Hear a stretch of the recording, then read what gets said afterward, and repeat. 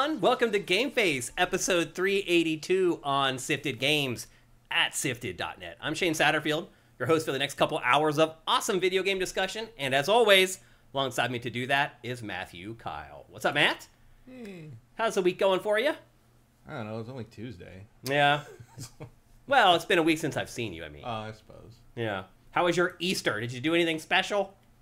No, I played a board game and Cadbury eggs. Did you had some friends over to play Yeah. board games? Well, that's something. I mean, I'm- it wasn't for Easter. I worked all day Easter, so you were definitely one up on me. I had to do dossier all day on Easter Sunday to get it done for yesterday uh, before the uh, month turned over. Obviously, dossier is our rundown of all the games coming out in a given month. Uh, So I was working on that on Easter Sunday. I did get some awesome Easter candy though, and I'm happy about that. Any cool candy that you got for Easter? Well, apparently the same as you did. Yeah, Um, I discovered new, a new candy that I love. I mean, I bought a bunch of candy. I didn't. Nobody gave it to me. Yeah. But I always get Cadbury cream eggs, even though several years ago the American ones changed the chocolate formula. Doesn't taste as good anymore. Really? Oh yeah. I didn't know that. that was like ten years ago. They're also smaller now than they used to be. That's a shrinkflation. Shrinkflation. Although apparently, Not only Gatorade did that, a but- couple times I, w- I have imported UK ones because the Cadbury chocolate there is still good. Mm-hmm. But then I've been told by some of my UK friends that they changed the chocolate a year or two ago as well, and that that chocolate sucks now too. Oh, really? Yeah, I don't know what it is. I am. They're still good though. I, I, you know, I don't dislike them. we hinted at the candy that I discovered this Easter, and I I love Twix, the candy bars. The one thing I hate about them is how they're so narrow in like these skinny little mm-hmm. strips. Well, they for Easter they release eggs, Twix shaped like eggs, and so mm-hmm. they're like this big around, and they're made like Twix with the cookie and the caramel Like and the choc- wider Twix. They are delicious. Um, go get them now. They're probably for half kinda- price. and they kind of come apart nicer than Uh-huh. the because the main ones kind of you get that chew and they. Sort no, you're right, yeah. like the the eggs on the. I think they've they've done the eggs for a few years. I've definitely I've gotten them before.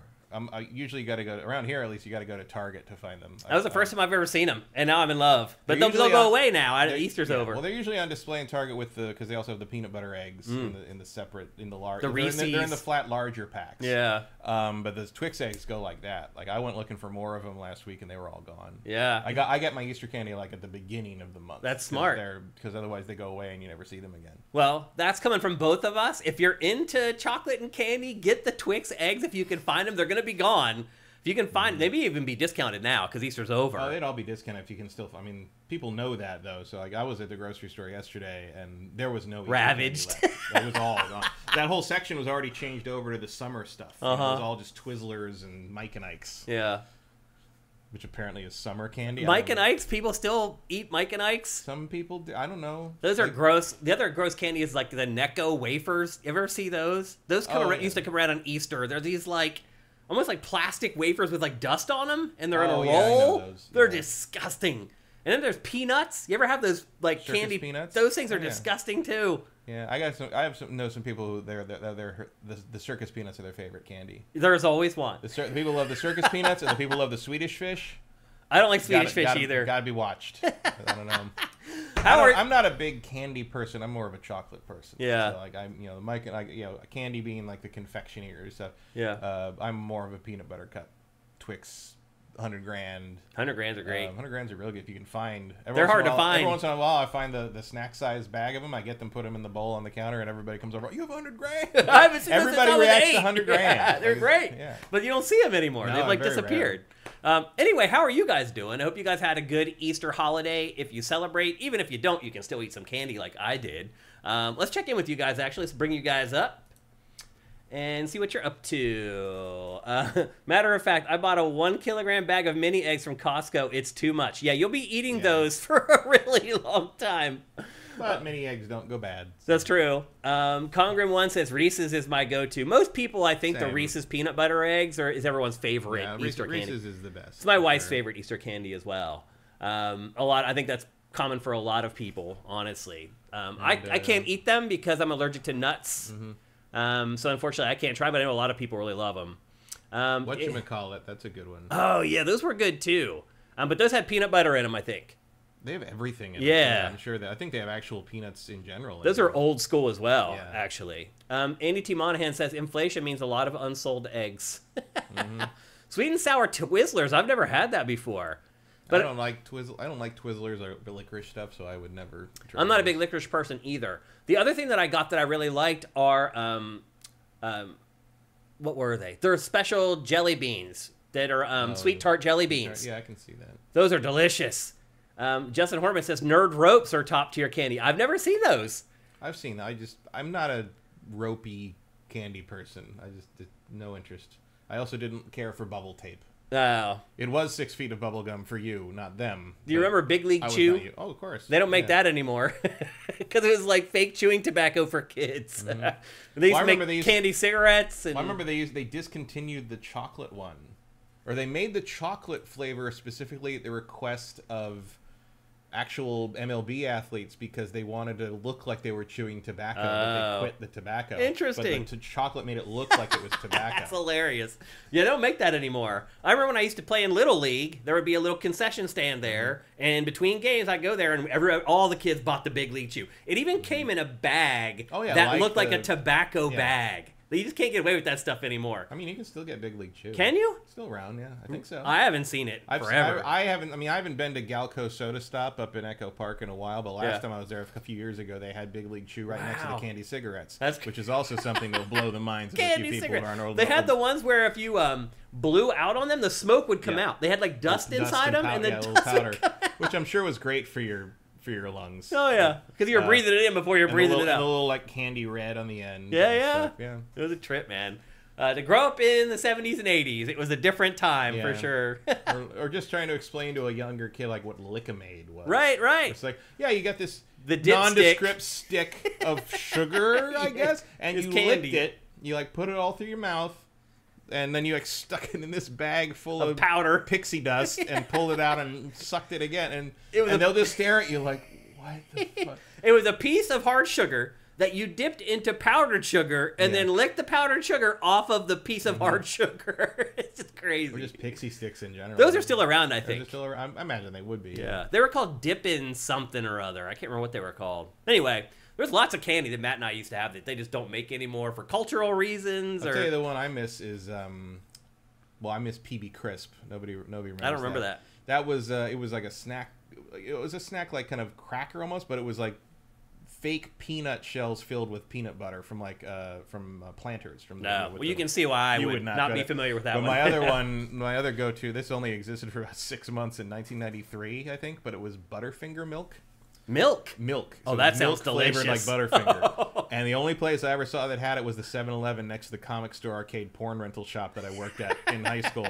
And I on my breaks I'd go over and I'd get a carton of Butterfinger milk and just down the whole thing. It was I mean it's peanut butter Butterfinger flavor. milk. Delicious. It's one of the best things I've ever can't even. tasted. Well, it's like they It is make uh, Cap and. Crunch milk even, which Yeah. is also really good. Unbelievable. And uh, like Butterfinger, I, I, there wasn't even a picture of it on on the internet until a few years ago when someone found an old unopened one and took a picture next to a Bart Simpson figure. and then like I assume threw it out because that's got to be a time bomb. Oh, if you yeah. open that, I don't want, want to know. Botulism, really- yeah. Oh yeah. Um, but I, so they discontinued after like six months, presumably because I was the only person in the world who liked it.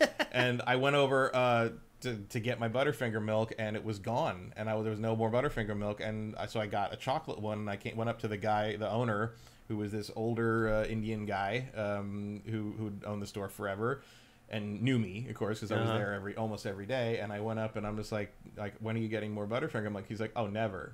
Like that, they discontinued it. And he's like, One run, and, and I'm was like, it. what? And, like, I- that- that- and he- and he's like, he's like, he's like, you know what? You're you're next. The rest of the week, your chocolate milk's free because Oh. because if it wasn't for you, I'd be stuck with that Butterfinger shit on the shelf for like months. That's great. And he's like, you saved me some work. That's awesome. He's like, you saved me some work, and I can see you're disappointed, so you can have some free milk for for a while. That's great. So Uh, let's get back to you guys and see what's up. Um, Eth Demon Dragon's Dogma 2 sold 2.5 million copies. Yep, that's up on SIFTD right now. Maybe you were there earlier and you saw it. for Um, that kind of game, that's amazing. yeah, it's already sold double what the first game did Yeah. in two weeks. And the first one's like sales were mostly back end, like super discount. Mm-hmm. Word of mouth stuff, yeah. Um, Ammo Clip 20, thank you for subscribing at Tier 1. Ilyagix, Yag X? Ilyagix? How do you think you say that one? Ilyag. Ilya GX. Ilya GX. Thank you for Twitch Prime, however we say your name. Uh, maybe you can phonetically spell it for us in the chat. Uh, what else we got here? Link so good. Thank you for Twitch Prime. Shora F. Thank you for Twitch Prime. I think that's it so far. You guys, a ton of you guys hit us up with Twitch Prime in last week's episode, so I'm not surprised that there are less today. Um, yeah, watch you call it, Charleston Chew. I forgot about that one as well. That's from Contano. Um, what else we got? Rock and Roll Four Five Eight. Thank you for Twitch Prime. Uh, let's see if we've got any more here. Yep, I love Big League Chew. I mean, it was really just bubble gum that was Yeah, shredded. We still have Big League Chew in, here in Alabama. You can get it places. Wow, that's crazy. Um, Fun Dip, that's what it was. Mm. Pharaoh Doll reminds us that's what it was. Fun Dip. Dippin' Dots are the ice cream that you can Yeah. get at McDonald's. Yeah, but then there's dot. The Dip and lick, yeah. but there was also the candy dots thing where like they just came on a sla- sla- like a piece of paper. Nerds were kind of like that too, actually. No, I remember that. Well, nerds yeah, they came out looked like the pills on a piece yeah, of they were- paper. Yeah, you like punch them out or pull, That's like, peel them off or something. Like I never can't had you those. remember that? That's crazy.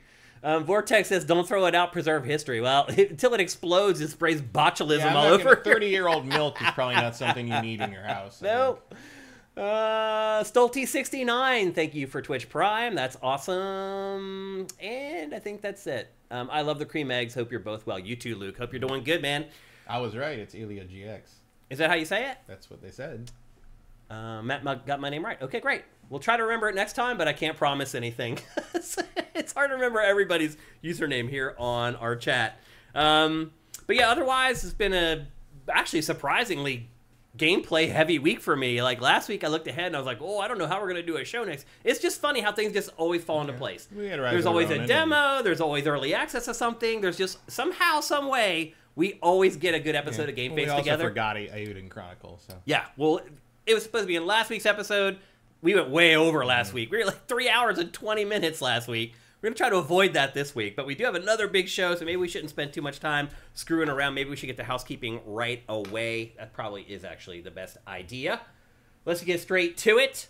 Um, so, Easter was this past week. Um, obviously, we just talked about all the awesome candy that some of you guys maybe got. Uh, but another thing that just happened over the last week was April Fool's Day. And we talk about April Fool's Day every year here on Game Face because, for whatever weird reason, even my wife at this point knows this. The gaming industry does crazy April Fool's stuff. I don't know why. It's been this way since my first day in the industry. The games industry has always just tons, done tons of April Fool's long jokes. Before that, Yeah. Like the, I mean, the, the Why has this happened, do you think? I don't know. It's just, like, some of it's, some of it's because like gaming gaming has always been so like kind of word of mouth and rumor fueled Mm-hmm. that it's easy to like make something up. There's also like people always want something different or something more, and and back in the day, like you know. You could make up anything you wanted. I mean, the, the old days. I mean, the, I think the the the the the, the er video gaming April Fool is EGM's um, uh, Sheng Long joke Yeah. um, which involves Mm-hmm. That's what kind of started photo- the whole. screenshot editing and a bunch of stuff. But I mean, that Yeah. comes from the fact that in the old arcade scene, people would make up bullshit about things they saw in the game at some other arcade you'd never heard of. Uh, Yeah. Chun Li throwing her bracelets, or like you can throw red fireballs, which was actually true, but it didn't matter because it was just a graphical glitch. It happened like one out of every hundred fireballs or something. Uh, Guile's handcuffs, which were real, uh, a, a, an, a, a glitch you could pull off in certain Yeah. things. Uh, Chun Li never threw. That's why Chun Li has a fireball now because of the the bracelet rumor that flew around for years Right. beforehand. Like that always happened. Yeah, and, yeah. Or how to the different codes you could put into play as the bosses before Champion Edition came out. But like it was Codes like, were the lowest hanging fruit. Oh, April my Fool's cousin, joke. my cousin did it at this arcade Right. over out in like Modesto. You wouldn't know them. like a yeah. 40 input Right. chain that you're like, I don't. You could. They never get busted because you never knew if you put You it in right. it. Well, that was the genius of the EGM Yeah. Sheng Long thing was, to, you know, they had screenshots. You know, Uh-huh. it looked, you know, low red, but it looked convincing enough Yeah. if you were Good enough. Um, and like, I think it was to op- to unlock him. Basically, you had to um, you had to f- you had to perfect every single round of the game, Mm-hmm. and then when you got to M Bison, you had to tie two rounds. You had to tie two rounds to go to the draw, and you couldn't get hit. Yeah. No, it wasn't draw. You had to not get hit and let the time run out on M Bison. Like no no getting hit, no hitting him, so the time ran out to Yeah. tie two rounds in a row, which is impossible. Like, Right. you can't actually that's not no. Like you can't get through an M Bison Street Fighter 2 fight without blocking. No, it's something. impossible, It's not yeah. going to happen. And then if you do that, then you get the draw the the, the sudden death match and before he can fight you, Sheng Long comes out and grabs him and throws him off the screen, and then you have to fight Shenlong. Right. Yeah. Now, people who have played Street Fighter later on re- will realize that this is exactly how Akuma comes on the screen in his original appearance in Street Fighter Yeah. Turbo, and that's because of this joke. Yeah. Like he It literally Akuma exists because the EGM joke was so prevalent. And I remember when that came out, like for the next week you had to deal with people Trying who didn't it. want you to play them in Street Fighter because Yeah. they were trying to get Sheng Long to unlock. And it's just like uh, That started it. Yeah. and so like ever since then it get you know these, and some of this stuff so I mean Sega tends to make a free game for Yeah. April Fools every it's done it a bunch of times. Yeah. Yeah. One of the questions I got for this last episode of Ash Ain't Anything was why do game players, gamers, fall so easily for rumors? Because a lot of people who play video games are dumb. well, my answer was it's not just gamers, it's everybody. Like, look at like all the crazy conspiracy theories that people fall for now. Like, it's not just gamers. I think the internet is responsible for a lot of this. Yeah. Honestly, Well, I mean, the internet definitely propagates it easier, Mm-hmm. um, and people forget what day it is, and then like you have the dateline issue. So like people in the UK and and Europe start like you know putting up their April Fool's stuff when stuff when it's like afternoon on the thirty first here, and so Yeah. people are like, "Wah, blah, blah, blah." and uh, and then people in California are putting them up like after the April Fool's has Right. ended on the other side of the planet. So like there's a whole disconnect there. Yeah. I woke up yesterday to a bunch of unsent messages from my friends who all realized that they sent me some bullshit. Apparently, um, I'm not sure what they were, but Uh-huh. you know, Yeah. You, let, you let people get away with that when that. It's like, okay, Yeah. we're not gonna. We're not going to push you on that. You got fooled and you realized it. Well, the only and it's become the only day of the year anyone actually fact checks anything they read on the internet. You're internet. right. Yeah. Well, this year, for whatever reason, the gaming April Fool stuff was bigger than ever by like several magnitudes. So we were very picky. I mean, that's what we do on Sit that we curate. So we I picked, didn't see many. well, we picked the good stuff, and that's what we do in general. But we also did that with the April Fool stuff, and so there's like five or six pretty good ones, and then just does. I'm not exaggerating, Matt. Dozens of others for these like.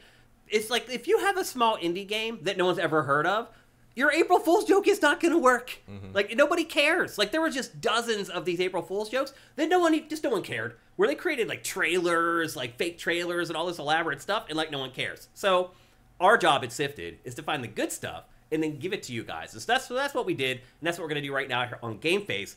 I collected basically the best April Fool's jokes. And one thing I'll say, Matt, is that like a lot of publishers and outlets have just given up as far as like trying to fool people. That used to be the trick was like I'll make a story that's crazy but just plausible enough that maybe I can get a couple of the editors to run the story or whatever. That used to be the goal. Now I think people have figured it out. And so instead of like And also, trying there's no there's no outlets left. Th- to- to That's one part of it. That's so. a good point, actually. But even those outlets that are left now, they, they just tend to try to do something cool instead of Mm-hmm. something that's going to fool people. And that's what some of these were. However, there was one that was both cool and was so cool that was almost plausible. And the coolest thing that I saw of all the April Fool's jokes yesterday was the Pokemon Sleep World Championship. Did you see this, Matt? No, So, do you know what Pokemon Sleep is? no. So it's a sleeping app, literally that you start up when you go to sleep, and it measures like how long you're in REM sleep, how long you're like with like you're moving around. It basically is like trying to encourage you to do the right thing so that you get good sleep. It's this app that came and went like two months ago. Nobody cared because it's not really a game. It's literally just an app that has like Snorlax like fronting it or whatever. Well, Nintendo and Pokemon Company were very clever, and look at what they did. They created this fake event where people compete at sleeping. it's it's brilliant the way that they've done it. I've chopped this down a good bit because it's really long, and obviously I didn't want to show the whole stinking thing here on Game Face. But the way that they've cut it together, the presentation val- values, the production values of this, just incredible. The way the announcers like narrate it and like get, like get you hyped up, like once it starts and they're doing like the play by play of them sleeping, it's just freaking brilliant. And again, it's it's like you think about what's the payoff for this? Are more people going to download Pokemon Sleep? Maybe. Mm, I never heard of it before. Now you know about it, right? So it did raise awareness, but I think really it was just them trying to just have fun. Like, look at the money that they've spent on this. It's insane. like, I really thought it was brilliant. Just the way that they did it, the way they presented it, the concept, the idea, um, and the fact that it wasn't just a blatant cash in trying to get people to go buy something. Because this is also free, by the way. Like, you don't have to pay for it. So I thought this was. Oh, Faradol saying it doesn't work on all phones. What Pokemon Sleep? I didn't know that actually. No. Um, but anyway, I thought this was the most clever April Fool's joke for 2024, and also the one where they went the furthest, other than my runner-up, which is IGN this year. Did you see IGN's? So I IGN. the only ones I saw were Minecraft and um, uh, somebody posted a micro Dreamcast Oh. that wasn't real, which was oh, I missed that. Actually. irritating to I me. didn't see that one. Well, It wasn't a video; it was just a picture and like another picture of like the games that were on it. I'm like, yeah, that'd be great. I totally buy that, but it, it's fake. So oh, No. well. Well, IGN did a Virtual Boy Pro as its April Fool's joke. Now, again, IGN doesn't think this is going to fool anybody. You know, they know at this point that everybody knows it's April Fool's Day. No one's going to believe it or whatever. But I thought that they did a pretty good job with this um, because it also kind of is riding the tailwinds of Apple Vision Pro. Everyone's kind of talking about that right now. It just went on sale not long ago. It's very similar in concept. Um, so I thought IGN did a good job, and let's be honest, IGN I feel like does a pretty good job with these every year. They always create some fake product basically, and then do a cool trailer for them. Uh, so I thought IGN's was pretty good this year. Again, the Virtual Boy Pro. Then we can start getting to some of the smaller guys. Razer also always does an April Fool's joke. Its joke this year, and maybe I should just wait here so the punchline can be delivered by the trailer itself, is a new gaming chair. Obviously, it's Razer. They make gaming peripherals, and this is called the Razer Cthulhu. Mm. And Razer Cthulhu is like a Doc Ock gaming chair, basically, that feeds you, combs your hair, brushes your teeth while you're playing video games. Um, I thought this was pretty clever too. Also, some significant investment went into this to actually build it, or most of this is probably fake, but. Um, I thought Razer did a pretty good job, and again, Razer does this every year. It has. I mean, they're clearly using puppetry for some of this. Yeah. it's impressive. yeah. I thought they did a That's great CG, but like the stuff where it's he's being that stuff. to, like that's puppets. Yeah, yeah. I thought uh, Razer did a pretty good job, and again, they do something every year. And then another cool one that the outlets did is from YouTube channel GameXplain. It did a, and we curate a lot of stuff from GameXplain. They generally cover mostly Nintendo stuff, and they do a really good job with it. Um, but they did a fake trailer for Metroid Prime 4. Yeah. Obviously, with its audience at GameXplain, this hits right to the heart of the people who are actually watching their content. However, in GameXplain's world, Metroid Prime 4 has taken a twist and it is now called Metroid Prime 4 because they have turned it into a golfing game, which and then created had somebody create the gameplay for this. There's like a good like 30 seconds of gameplay from this in this little fake trailer that GameXplain made. Pretty impressive stuff, man. Um, and uh, and again, this is an outlet realizing, look, we're not going to fool anybody with this stuff, so let's just have some fun with it and do some cool stuff. Um, That and- said, if this popped up as a mini game and something that would not surprise me one bit. well, there was already Metroid Prime Pinball. Remember? Yeah. Was that GBA? I can't remember. was- I want to say that was DS. But didn't it have like a rumble cart, if I remember correctly? There was No, that force was feedback. Pokemon, Pokemon had Pokemon Pinball. had Uh, okay, I knew it was It one did- of them. No, it did have a. It did. You're right. It, it was a DS game, and the DS thing, with- and it had there was a Rumble cartridge, like the Game Boy Advance cartridge size, that went in the Game Boy Advance slot. slot. Yeah, do that- I knew like it. I thought there was something special about it. Um, so look, we're already open to doing crazy stuff with Metroid. So this GameXplain thing is got to be better than Federation Force. That's probably a good point. Um, so anyway, props to GameXplain. Uh, they went the extra mile. They had one of their friends, or maybe they did the CG for the actual gameplay. I thought they did a good job with it. And then a couple of the smaller ones, Arma Reforger did an Army Men thing. Matt, do you remember when Army Men used to be gigantic in the gaming Oh, Yeah. industry? Well, yeah, because I worked in retail stores at the time, and like couldn't fucking keep track of them all. Like, Dude, was- the N64 games sold in the millions. And they were not good games. People used to come and ask for the Army Men on the Army Men. Sarge's on the- on the- Heroes or on- yeah, whatever. Sarge's Heroes on PS1. We couldn't keep it in stock. Yeah, it's insane. And so Arma, I think, is trying to latch on to some of that nostalgia from that era of video games, and it has. And this is actually real, by the way. This is actually a little event that you can play through, and that's been a that was a challenge throughout the last day or so, trying to figure out whether this stuff is real or if it's just a trailer that they made. A lot of times, like they don't explain it in like the clip description, like whether it's real or fake or not. So it was hard to tell with some of these whether they were real. This one, in fact, is real. Yeah, the the Minecraft one was real. Yeah. um, which it was interesting because like people it actually caused some like backlash Um, because the Minecraft one was like this. I can't remember exactly what it was, but basically, like it was like a separate world you could see, and it had like a Spider-Man swinging thing. You threw a vine up, and you could swing on anything in the ceiling or whatever. Mm-hmm. And there were a bunch of Minecraft players that are upset because, like, apparently the April Fool's joke is more impressive than the last few updates to the actual game. and they're like, why don't you do cool shit like that in the actual game instead of it? Well, do you think the Army Men franchise will ever come back? Do you think people would care now? That's one of those franchises we I talked know, about I- that, like, the, I- when I was talking last week about like volleyball games going away and I like mean, I would think not. that's kind of like- one of them. But also, like the people that were like eight when they were when these were hot were are like thirty five Yeah. now. So the nostalgia thing is kind of in play Yeah. at this point. I do wonder if you made a new Army Men game, and who even owns that IP now? Like Embracer, probably. Because didn't did THQ own it back in the day? Who published those games? I can't remember. It does. I think it was THQ. I I'm can't remember Sure. 100%. I mean, also like I'm sure Disney probably has some kind of in the interim stranglehold on that because the popularity Army Men comes from Toy Story. Yeah, Um, yeah, they, it revived it for sure. Yeah. yeah. There's no doubt about that. Yep. Um, so anyway, that's Army or Arma Reforger, the Army Men event, and then the last one I'm going to point out is something for Street Fighter Six. They are bringing Monster Hunter costumes into Street Fighter Six. This one is real.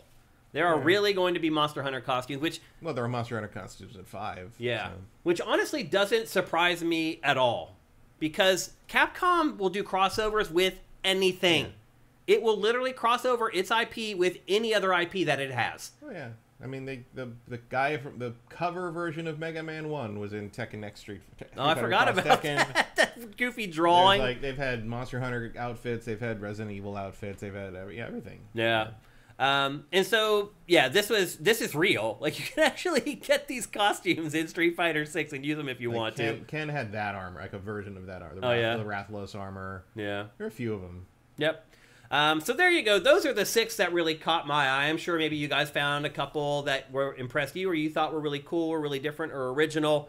Um, but these were the ones that really caught my eye. Spending a ton of time yesterday sorting through all of these. And actually, if you want to see the um, the full list of all like dozens and dozens of April Fool's jokes for the gaming industry, we have a story curated from Gematsu right now at SIFTD that has them all. And literally, it's like an endless scroll of April Fool's jokes. It's really crazy how big it has become in the games industry. But overall, this year, nothing too great. Again, the Pokemon Sleep to me was my favorite one as far as clever and the investment that they put into it. IGN I thought did a good job too with its Virtual Boy Pro. But overall, I feel like this is like the third or fourth year in a row where there hasn't been like that killer one where everybody just laughed their ass off at it. So um, this is one of those things that's not going to go away. There's, it feels like it's just oh, there's Luna. Now that the dogs are gone, Luna comes Yeah. back. Um, I feel like this is one of those things that's just gonna die a slow, painful death. It's just like never gonna go away. It's gonna get painfully worse, like year after year. Um, but anyway, that's kind of where we're at with the April Fool's jokes. Uh, but a lot of the things that we do at SIFTD are doing the work for you guys, finding the cool stuff and putting it in front of you so you don't have to do it yourself. And that's what we did with the April Fool's jokes for 2024. Next up, Marvel Rivals, Matt, the biggest debut easily of the week. It is basically Overwatch with Marvel characters. Um, I am little, too late. yeah. I'm a little surprised. The response to this on SIFTD has been abysmal. Been that way across the board. Has it? Yeah. Why is that? Is it? I mean, it is just. Is it just too little, too late? No one cares about character shooters anymore. Yeah. Um, no one wants to play a character shooter with Marvel characters. Why? because people want like story-driven stuff, character-driven stuff, and single-player games from Marvel. Mm-hmm. That's it. I mean, super. That's what people want from superheroes. They don't want co-op shit. They don't want competitive online shit. They don't want to be sold microtransactions and skins and everything, which is obviously what this is. Uh, they want to play stuff that captures the characters properly, and that is not this. I think it's pretty cool. Like, look, I don't play a ton of Overwatch, but like, if I in the future, once this is out, and I have a choice between playing this and Overwatch, I'll play this, provided it's not terrible. Yeah, I I mean- care more about these characters. I mean, I'm just not going to play either one, Right, So yeah. it doesn't. It's not. They're not going to get the audience that wants to play these characters with this kind of game. It's just not going to happen. I mean, what if Um, they're just looking for the hero shooter crowd that thought was- that thought Overwatch's characters were good enough, and now they have Marvel characters to use and play with? I mean, I think it's easier to make original characters that that click rather than try to capture some version of a 60 year old character shoehorning it to, into to, to please everyone because that's kind of the problem is like okay, which version are all the you know even and you have people that don't know the the, the content enough to like understand that there are different versions of things or even who that is. Right. Yeah. Um, that is not a gender swapped Galactus. That is Galacta, Galactus's daughter. Mm-hmm. Um, there's a lot of whining about that online, where it's like, oh, they, ma- they made Galactus a girl. It's woke. oh, geez. And it's like, no, that's Galacta. that's his daughter. Um, I don't know what she's doing in this, but like, yeah, that's an established character. There's other. How all- exhausting must it be to go through life just trying to look for stuff like that? Well, you what know- a well, miserable, see, what a miserable existence that is. If that it's is. your entire personality, there's nothing else to do, so you don't know any different. I think it's probably easier that way. wow. Um, Get a life, man. That's all I gotta say. if Get they an had a life, life. they wouldn't be upset about people that don't look like them appearing in media. You're probably right. Yeah. Um, yeah, this is a I'm kind of excited for this, and I realize I'm like the only one. yeah, this is a, this is a complete dud. I mean, it's also coming from NetEase, which doesn't give me a lot of confidence in it either. Typically, a mobile developer, um, and so you know, I'm I'm not a big fan of NetEase or mobile games in general. The fact that this is coming from one of the biggest mobile developers gives me a little bit of pause for sure. It's I don't know, like what a what a waste of time, money, and effort this is going to be. Like you'd think they'd have learned something from Avengers, and they didn't. Like Yeah. that's not. This is like people do not want online microtransaction laden Marvel games. That is not. Is this actually? I don't know. Is this going to be free to play? I don't know. I would assume. I would assume not. I would assume. You're Oh, gonna really? Pay, I, I assume you're going to pay seventy bucks for this. And Oh, then Have to pay for skins and all the other cosmetic oh, stuff on Oh, top. that of would be that would be a big mistake. Hundred percent. Like you, the Marvel license ain't free. Yeah. I have no doubt that that is going to be what's happening here. You're right because of the license. I, I think Pachter said that like Marvel takes like thirty percent cut or something. Yeah, it's a big cut. Yeah. The only the only um online kind of like transaction driven game you could get away with is if you resurrected Marvel Heroes, Yeah. the Diablo style. Yeah, a lot of people seem to like that. that that yeah, Disney killed that in its cradle or kind of too early, uh, partly because Marvel com, Marvel Entertainment run by Ike Perlmutter, uh, the enemy of all people who love Marvel. Um, who uh, also is involved in the current t- today the voting to see if N- uh, Peltz and his and Ike and all those worthless pieces of shit uh, get to take over Disney's board. No. Um, oh, I which, would- saw which that. would be yeah. catastrophic. It really would be, to yeah. all culture. Right. All pop culture would suffer from that. Luckily, so far, well, last I checked, the board is the board. Uh, um, um, Iger and then then the the normal people are winning the Oh, vote. I think that's good at Um, least. Peltz, by the way, his only contribution to film or television has been to force M Night Shyamalan to cast his daughter as Katara in the in the Last Airbender movie. very specific. So if you want that guy running Disney, like I don't know what to tell you, but you're definitely not going to be allowed in my house. um, it's it's Yeah. uh, it's ridiculous. But like yeah, like Marvel Heroes was largely killed. Uh, no one really knows why, but the speculation is that because they had a license for Marvel stuff that predated the separation of all the licenses. Um, after the MCU got big and Marvel started being bitter about the fact that they didn't have the other licenses for Spider-Man and Fantastic Four and X-Men, uh, but Gazillion was the one who did that. Was that right? Mhm, I think so. they yeah. had their license covered everything because Oh. that was the, that that schism didn't really exist yet when they when they signed the deal. Yep. So they could use Fantastic Four and X Men stuff as much as they wanted, and apparently every time they did that, especially Fantastic Four, Marvel got real mad. Uh, But they couldn't do anything about it. So when the time to renew or not affect your re- relationship. Yeah. when the time to renew or not renew the license came up, they just killed it, even though Yeah. it was doing well, and it just launched on PlayStation.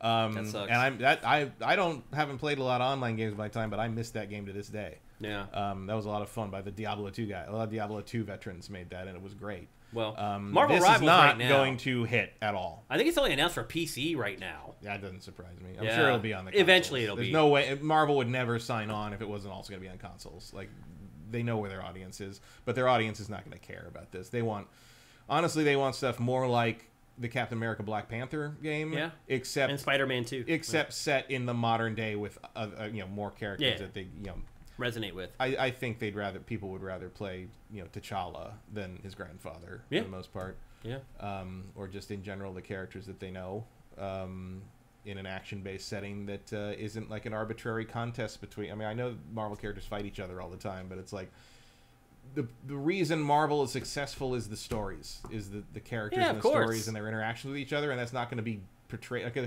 because we know that because the only character you got out of Overwatch was when they did the CG movies. Yeah. Which, by the way, was the best thing about Overwatch for the uh, in the Well, end. now they're saying they're not going to do the single player story driven No, stuff, which was the whole reason too. Overwatch 2 launched. Yeah.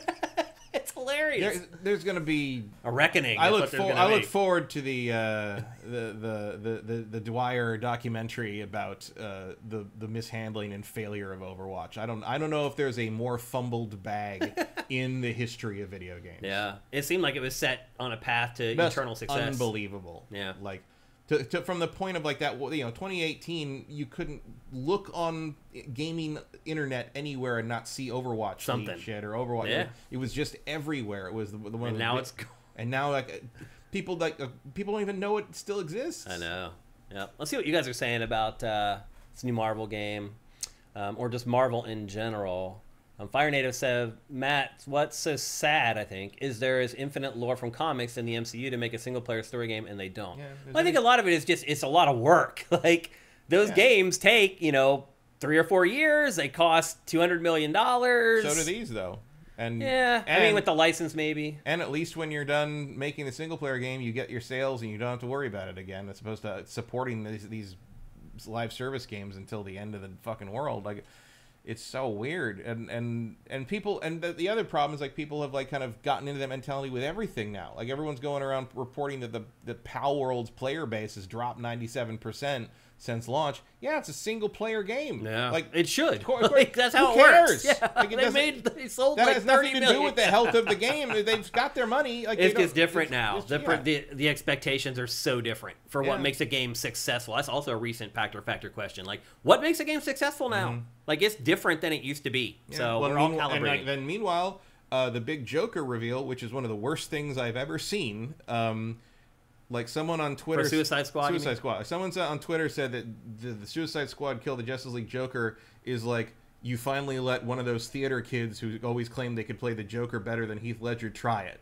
Oh, and it's so that's what you ended up with. the voice alone Um, sounds awful. It yeah. sounds nothing like the Joker. it's bizarre. It's really Um, weird. After you fumbled, talk about fumbling a bag, by the way. I don't. I don't mind the the visual design of him. Yeah. Oh, he looks fine. But the performance is Yeah, awful. It's terrible. And uh, that peaked, I think, at three thousand consecutive con- concurrent players on Steam. They, they brought them brought it back to three thousand, and it dropped back to a thousand two days later. Yeah. Meanwhile, Helldivers two is still hovering around two hundred thousand. Yeah, yeah. So. And then they announced that there's going to be a Arkham Origins remaster later this year. I was like, oh, so we're we're already trying to erase. hey, remember when you liked these? Check it out. Look. Well, we, look, we like to focus It's on Batman. anytime somebody chats for the first time on our stream, we like to point them out. And here we go. Here's Moncasa with their first ever chat on Game Face, and they say, "I like turtles." Yeah. okay, I like turtles too, actually. Or they did. They're talking about the Ninja Turtles there. Ninja Turtles got a Transformers crossover this week. They're making a turtle van that turns into a giant robot. Yeah. That's good. Um. X-Men- Oh, Good X-Men Joe. Thank you for Twitch Prime. X Men '97 is a great example of taking source material from the comics, and in fact, the source material that they're adapting for X Men '97's new season is from 1980. Like if they're doing, they're doing, they're doing X Men 200. X Men is currently on like issue 500. They're Wow. they're doing X Men. They're doing the Inferno storyline stuff and the Trial of Magneto. That's like when I started reading. Mm-hmm. In, they're doing Life Death, which is the first X Men comic I ever read. Was Life Death Part One and Two, which is hilarious because I was like eight, Yeah. and that's a dialogue driven romance story between Storm and Forge and for some reason I thought it was fucking captivating. I don't know and I wanted more of the X-Men stuff. Um, they're Yeah. doing Cyclops right for the first time ever in non-comic media. Like they're they remember that his his beams are actually concussive blasts, so he's using them and not lasers. yeah, Yeah. and they're using so he's using them like he hits somebody and uses it to push himself backwards to dodge something that's incoming. Right, and so right. It's great. Yeah, yeah. And that that so that show is like yeah, like that, and it's the most the big one of the big I think the biggest streaming premiere of the year across all streaming services this year so Wow. far. So great. like. If you make it good, people will Will watch come, it. yeah. Even if there's a bunch of dipshits online complaining that the X Men are woke, because guess what? They've always been that. Like that's the whole point. That's what it is. That's what they are. Yeah. If you're whining about that, congratulations. You've become the bad guys in the X Men. Great job. Uh, also, thank you to Henry Pumpkins for Twitch Prime. That's awesome. The Legacy says, um, Moncasa is referencing a viral news report video. Okay. I don't know what that means. Viral news report. What? Well, okay. A news report video that went viral. Um, apparently, someone said they like turtles. okay. I don't know. All right. I didn't. I haven't seen that one. yep. Uh, okay, let's move on. Yeah. Next, we're going And to yes, talk. Gambit does wear a halter top. It's almost like you know, what people are very angry that Gambit wore a halter top in the new the new season. It's, a, it's like a cut off pink Yeah. shirt, and it's like, yeah, it takes place in 1997. Have you ever have you ever seen movie? Bill, No, Bill S. Preston Esquire wore a shirt like that. Everybody wore that shirt. If, if you had any kind of abs and you were Yeah. a dude, you wore the the cutoff shirt. Like every I knew, everyone I knew named Travis wore that shirt in the Yeah. fucking 80s and 90s. I don't know where people get this weird idea, and they're all kids 'Cause they're they all- weren't there. They're all people. They weren't there. Yeah, they're all people that are too young why. to remember it. It's Yeah. like the, it's like the the kids that are like saying that like, well, no one hated the Star Wars prequels back in the day, and everyone hates the sequels. And I'm like. Are, What? were you like five? is that the only the only explanation I have for that is that you are you were too young to use the internet Right. when that there are literal movies made about how George Lucas ruined everyone's Oh, yeah. childhood, Yeah. which was ridiculous then and it's ridiculous now. And in 15 years, when everyone is, it's just conventional wisdom. The Last Jedi is the best Star Wars movie. I look forward to all these guys in the nursing homes losing their minds over and over and over about it. Okay, let's move on. We're going to talk next about a game that I've been tracking real close. In fact, I think it was like seventh in our video game power rankings for last month, and that is a game called Judas. Judas is basically the spiritual successor to Bioshock. Sol- solid Easter game. Yeah. reveal. Ken Levine has been working on this game for almost a decade now, and he tries to push back on the Bioshock in space tagline that this game has kind of been stuck with. But now we got previews of this Yeah, game this week. You're probably just gonna have to live with that one, Ken. And in fact, it is Bioshock set in space. That's exactly what the game is. Nothing Um, wrong with that. no, not at all. It, but it, and here's the thing: it is not technically connected to Bioshock No, in any not. way, shape, or form. Matt, the weirdest thing about this round of previews that came out this week, everything else was great. Like we're gonna get to the details on the game, and it sounds awesome. But like Geoff Keighley was there, so IGN goes to interview Ken Levine, Hmm. and they're sitting at a table with Ken, and at the table with them is Geoff Keighley. Dude, Like, just- what the fuck?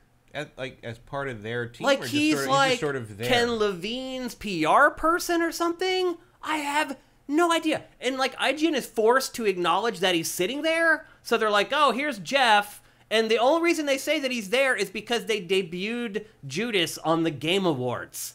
what the uh, hell? Matt, I don't know what's going on there, man. It was some weird, weird stuff. Watching like Ryan McCaffrey, is that his last name? think so, From yeah. IGN, sit there and be like, "What the hell? Why are you here? Yeah, especially because like we all know each other, and it's like, Yeah. Geoff, what do you do? Why are you in our interview? it's so weird. So anyway, once you get past the awkwardness of Keighley being there for no freaking reason, again, I don't know why, you start learning about the game, and the game sounds freaking awesome. So it starts with you being reprinted. You've been dead for a while now, and you've just been revived. And as it turns out, you are on a ship called the or you are on a ship from Earth going to a planet called Proxima Centauri because Earth has been ravaged by a plague. And your ship appropriately is called the Mayflower, although some would say not appropriately after we what we found out ultimately about the Mayflower. Um, and basically I don't know what I'm watching here. seems pretty appropriate. yeah. um, and basically, your objective is to make it to that planet and save the human race. But the vast majority of the game takes place on the ship. And the problem is that most of the people on the ship are not humans. They are robots, but they do not know that they are robots. You're the jerk that tells them that they're robots. And so they're like, F you, and they turn on you. And that's the setup for the game. You're basically on this ship trying to get to this planet to save planet Earth, but on the ship, you have a bunch of insane robots that are trying to kill you. And that's pretty much the plot. Now, they've talked about the narrative Legos thing. Narrative Lego, I guess the plural of Legos is actually Lego. Yeah. Um, and They are Lego bricks, not Legos. Right. So anyway, he's talked about how the narrative is set up, and basically all that they got out of him throughout these previews is like, well, if you do something for so basically there's three main characters that you work for in the game, and they're actually like they're a they're a husband and wife, and then they have a daughter that's like an android, and so you're basically doing work for them. But the thing is, is if you pay too much attention to one of them and ignore the others, it has consequences on down the road. So one of the things. Wow. Shore F says when I joined the game, Westworld was not out yet. Wow. That was a long time ago. yeah, that is a long time ago. Are people saying it's like Westworld? No, they're just making comparisons to like. I mean, it's it's hardly original in terms of like you know the widespread. You know, there's there's Westworld to this. There's uh, um, there's obviously Bioshock and System Shock to it. There's uh, Yeah, I mean, Shora worked on this game. Yeah, We should like there's uh, zoom him into the show. Matrix to this.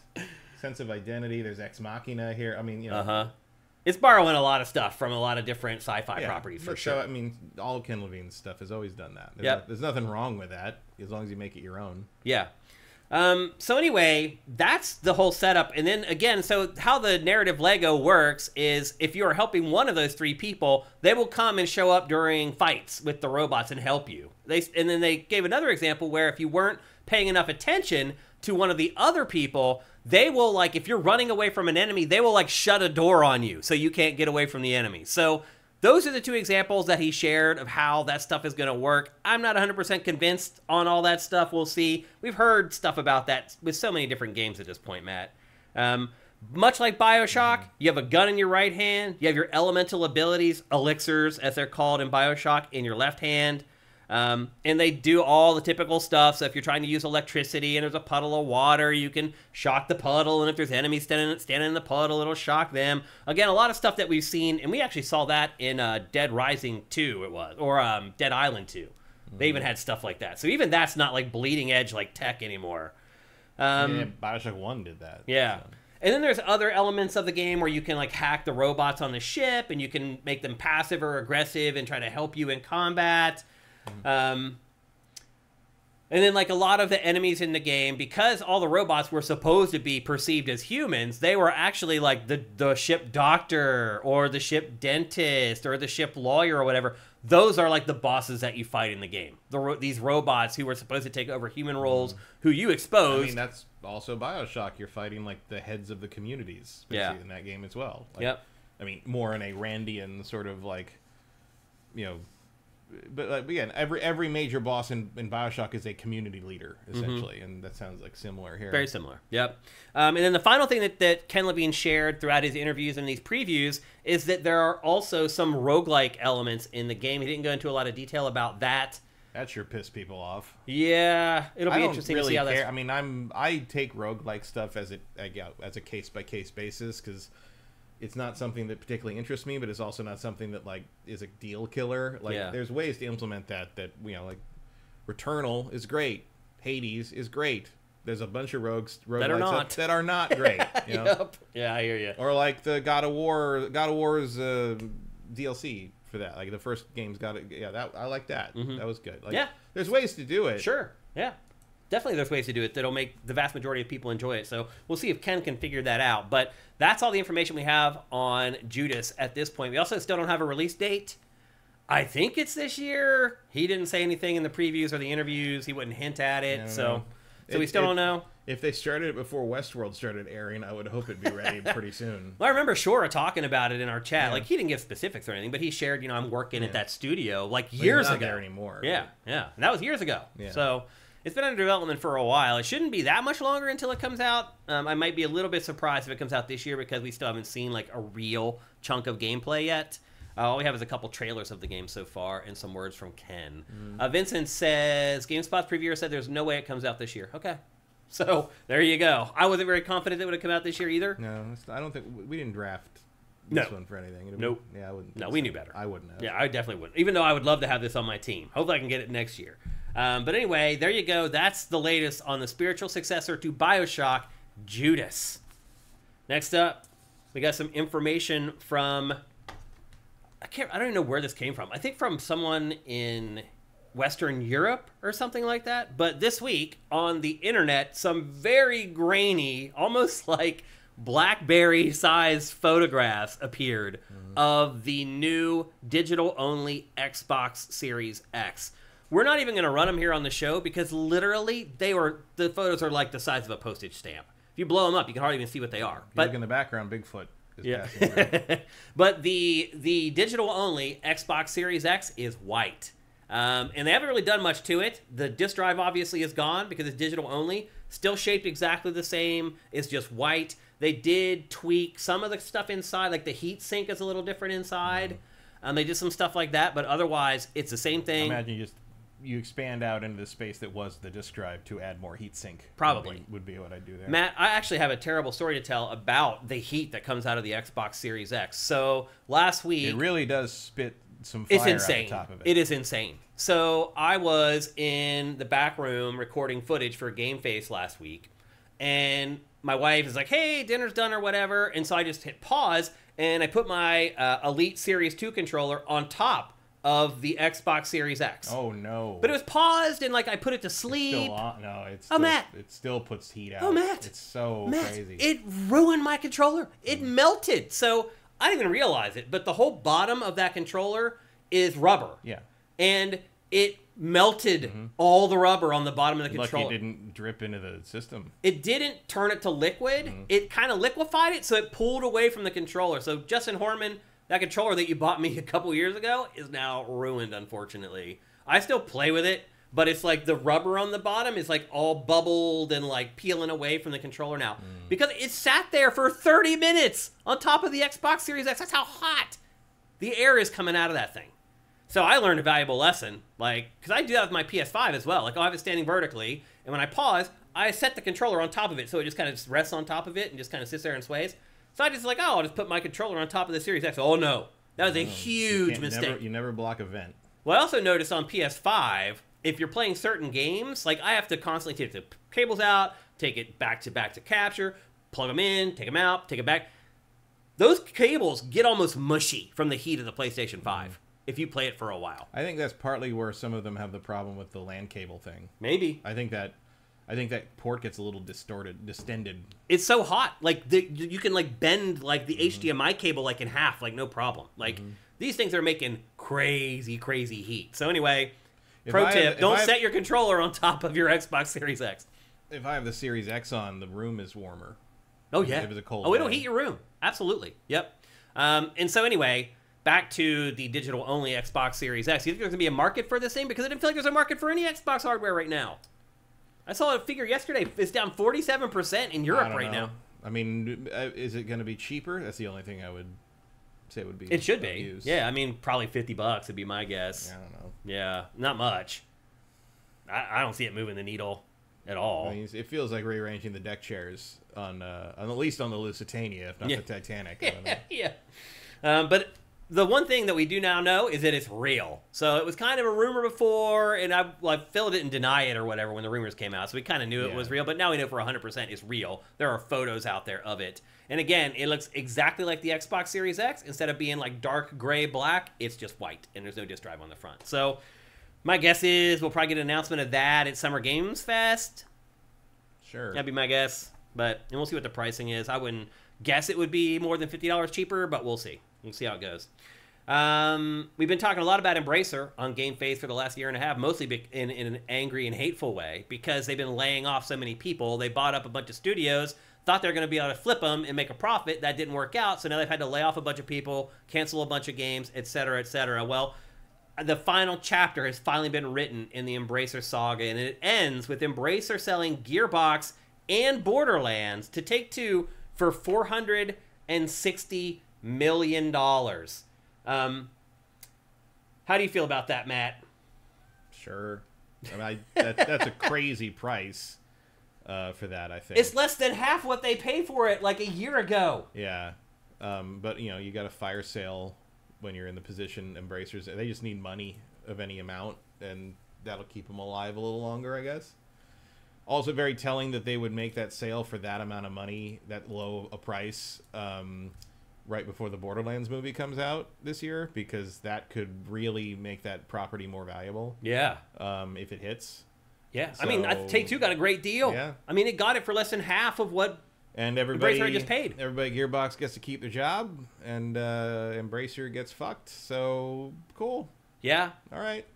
Um, and also, by the way, Borderlands 4 sounds like it's a lot further along than people think. So they also sold a studio that was coming down the home stretch of its next game. So there's value there as well. It's not like Take Two bought them. Now they're to have to wait six years for the new Borderlands to come out. No, so it's, it's gonna be right there. It's it's. What a bunch worked of, out. A bunch of idiots. wh- What- who? what a- Which one? Embracer. what a what a waste of everybody's time.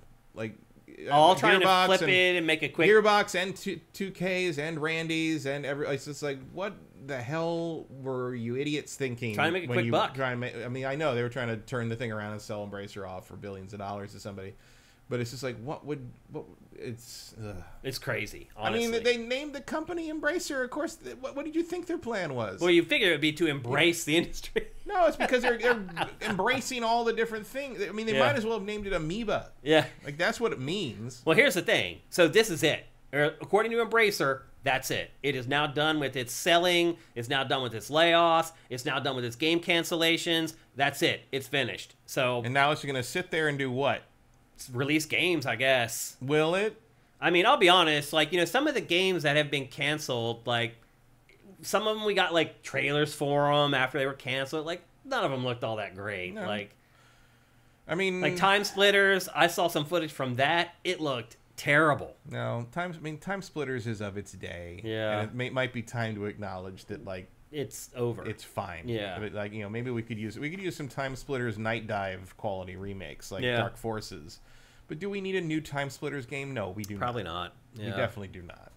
Um, Um, so some of the stuff, like I kind of understood where Embracer was coming from, but the layoffs and some of these, some of them I don't at all. No, Like, I mean they were just some of them are insane. Mm-hmm. They're going for a shotgun approach. Originally, you know, it's like, well, we're gonna put anything you can think of out. We're gonna buy Lord of the Rings. We're gonna call this all, you know. we do- But they- bought THQ Nordic, right? Mhm. Yeah, THQ Nordic, that was almost the company that was doing what Embracer was doing on a smaller scale, and they were putting out really good quality stuff. Like there was Eh. some, I mean, not like amazing. Remember the last Saints Row? Oh well, yeah, but that wasn't that Embracer. Well, it was THQ Nordic. Yeah. But like, I'm talking about like making new expansions to Titan Quest. oh yeah, yeah, stuff and, like, that made sense. Bringing yeah. Darksiders back, Mhm. uh, even though that didn't work out tremendously well. But I appreciate the thought. the effort. yeah. Um, one day, someone might make that sequel to Darksiders One that follows up on that ending from what was that? Twelve years ago? now? Yeah. No, it was that was 2008, wasn't it? Yeah, So that was 16 years ago. It's been 16 years of a cliffhanger on the end of that game. it's crazy. Yeah. So anyway, I guess the good news here ultimately is that Embracer isn't going to lay any more people off or cancel any more more games I for mean, the until- foreseeable future until, next it time. does. Yeah, yeah, pretty much until it does. But the- at least it is officially said that now all the cuts are over, and I do feel a little bit better for the people who are working under that umbrella, who are who basically for the last like year have been waiting to get laid off. That is a horrible feeling, knowing Yeah. that That like said, layoffs keep- are coming. keep looking. Yeah. Like I would, Yeah. I would stick or I wouldn't Yeah, I would- sit back. I'd be like, okay, I got a paycheck now for a few more months. Then I can now get paid while I look While I for look a new another job. Yes, That's that which is a big deal. Um, so anyway, it appears that the Embracer saga is mostly over. We'll see if if it actually sticks to its word or if it's just a bunch of BS. But um, at least most of the people working under that conglomerate now can breathe at least a vague sigh of relief, um, knowing that they have at least a few months here of a grace period to try to figure out what they want to do next. So anyway, Gearbox and Borderlands to take two makes sense. Like that's kind of Sure. where it should have been all along. Let's be honest. Um, and they got it for a really, really cheap price. So good on Take Two. Um, a lot of other publishers could have snatched them up, but somehow Take Two got them. I'm sure Gearbox is like, we've worked with you guys before. Like, let's see if we can make something happen. And there it is. So there you go. Uh, next up, we just got some information.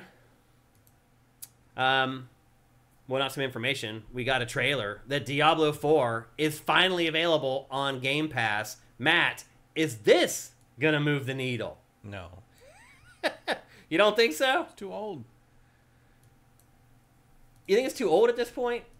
Yeah. Because they're just now like getting to their second season, Yeah. and Anybody who really wanted this game has it. but don't a lot of fans of Diablo actually care about the end game more than like playing through the campaign? Yeah, but they already own the game. Why do they care Yeah. if it's on Game Pass? Yeah.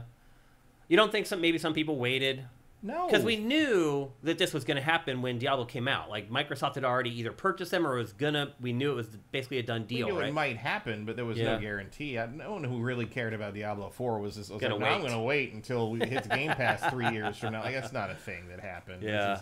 You're getting incidental people that didn't even play it yet. It's no. Yeah. It's, it's I mean, it, you got to do it. It makes sense to do it, but like it's that's. Well, this is a milestone. I mean, this is the first game from Activision Blizzard from that acquisition to go on Game Pass. Oh yeah. Um, so it means It'll matter to like it'll matter to does it? future Blizzard stuff, but like this is uh, Diablo Four is an old game unless you're still playing it, and if you're still playing it, you don't need it on Game Pass. Yeah.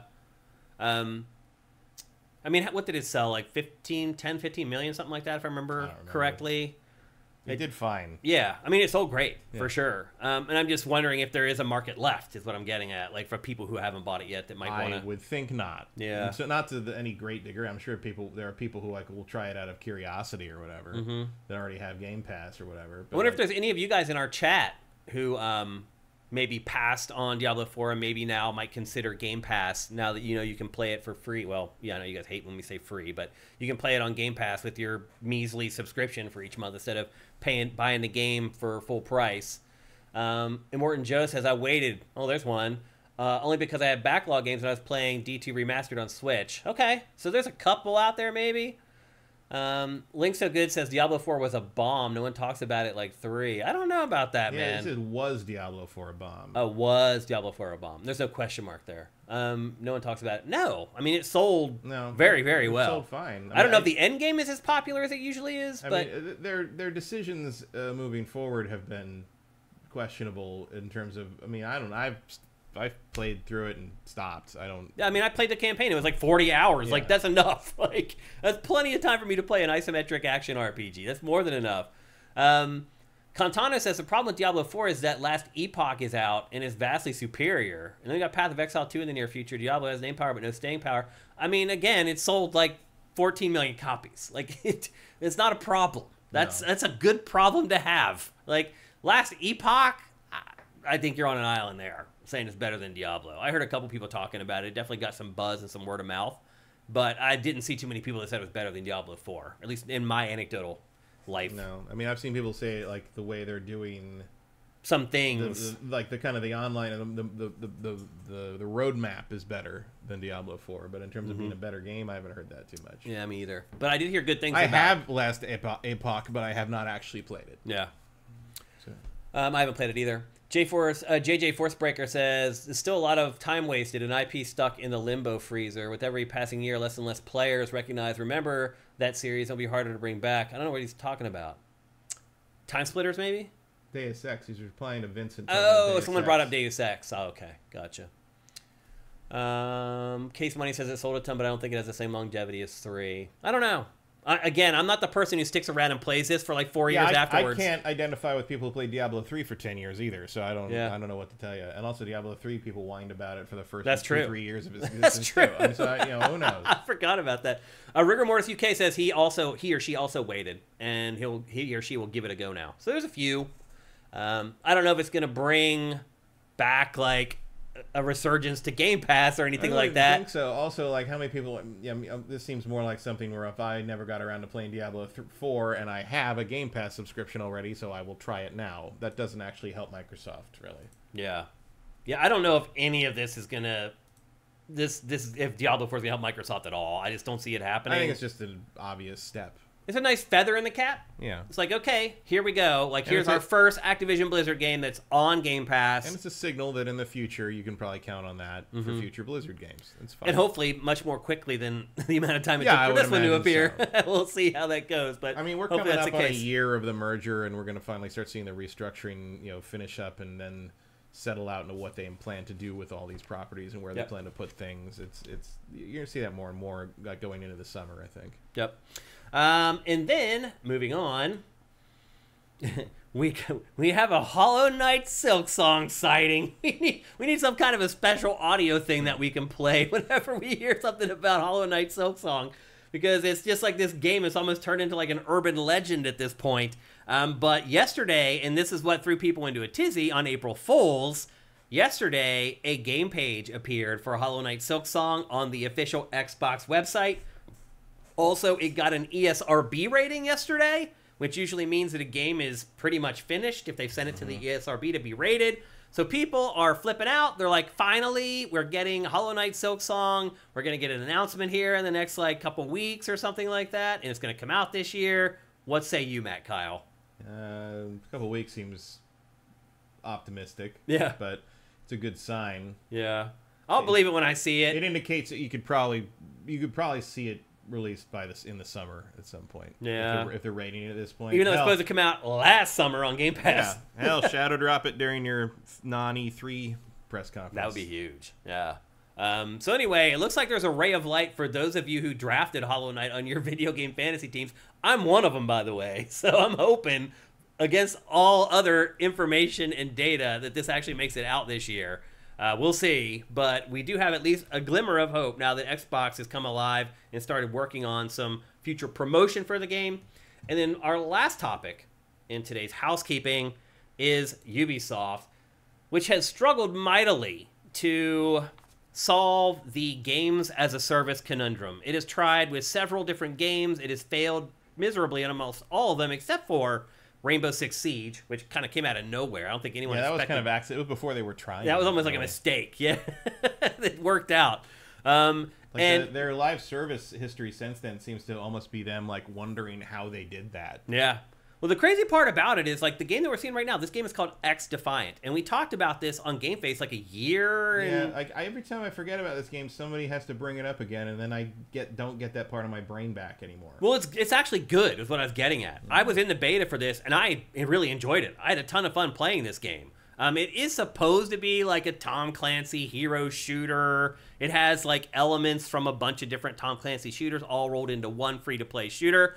I actually had a ton of fun with it, but after that beta like a year ago, it just disappeared. And now Ubisoft has reappeared with the game, and it's like, oh no, we're reworking it again, mm-hmm. and it's gonna go into beta again. A year later, it's gonna have another beta. Like, I mean, it does. maybe name it something that isn't stupid. Right. That might help. Like you might let us call it like Tom Clancy hero shooter. That might actually make it Yeah. more successful. like get Tom Clancy into the name Just call it Tom Clancy's Kill People and Right. call it a day. like, what do you need? You're right.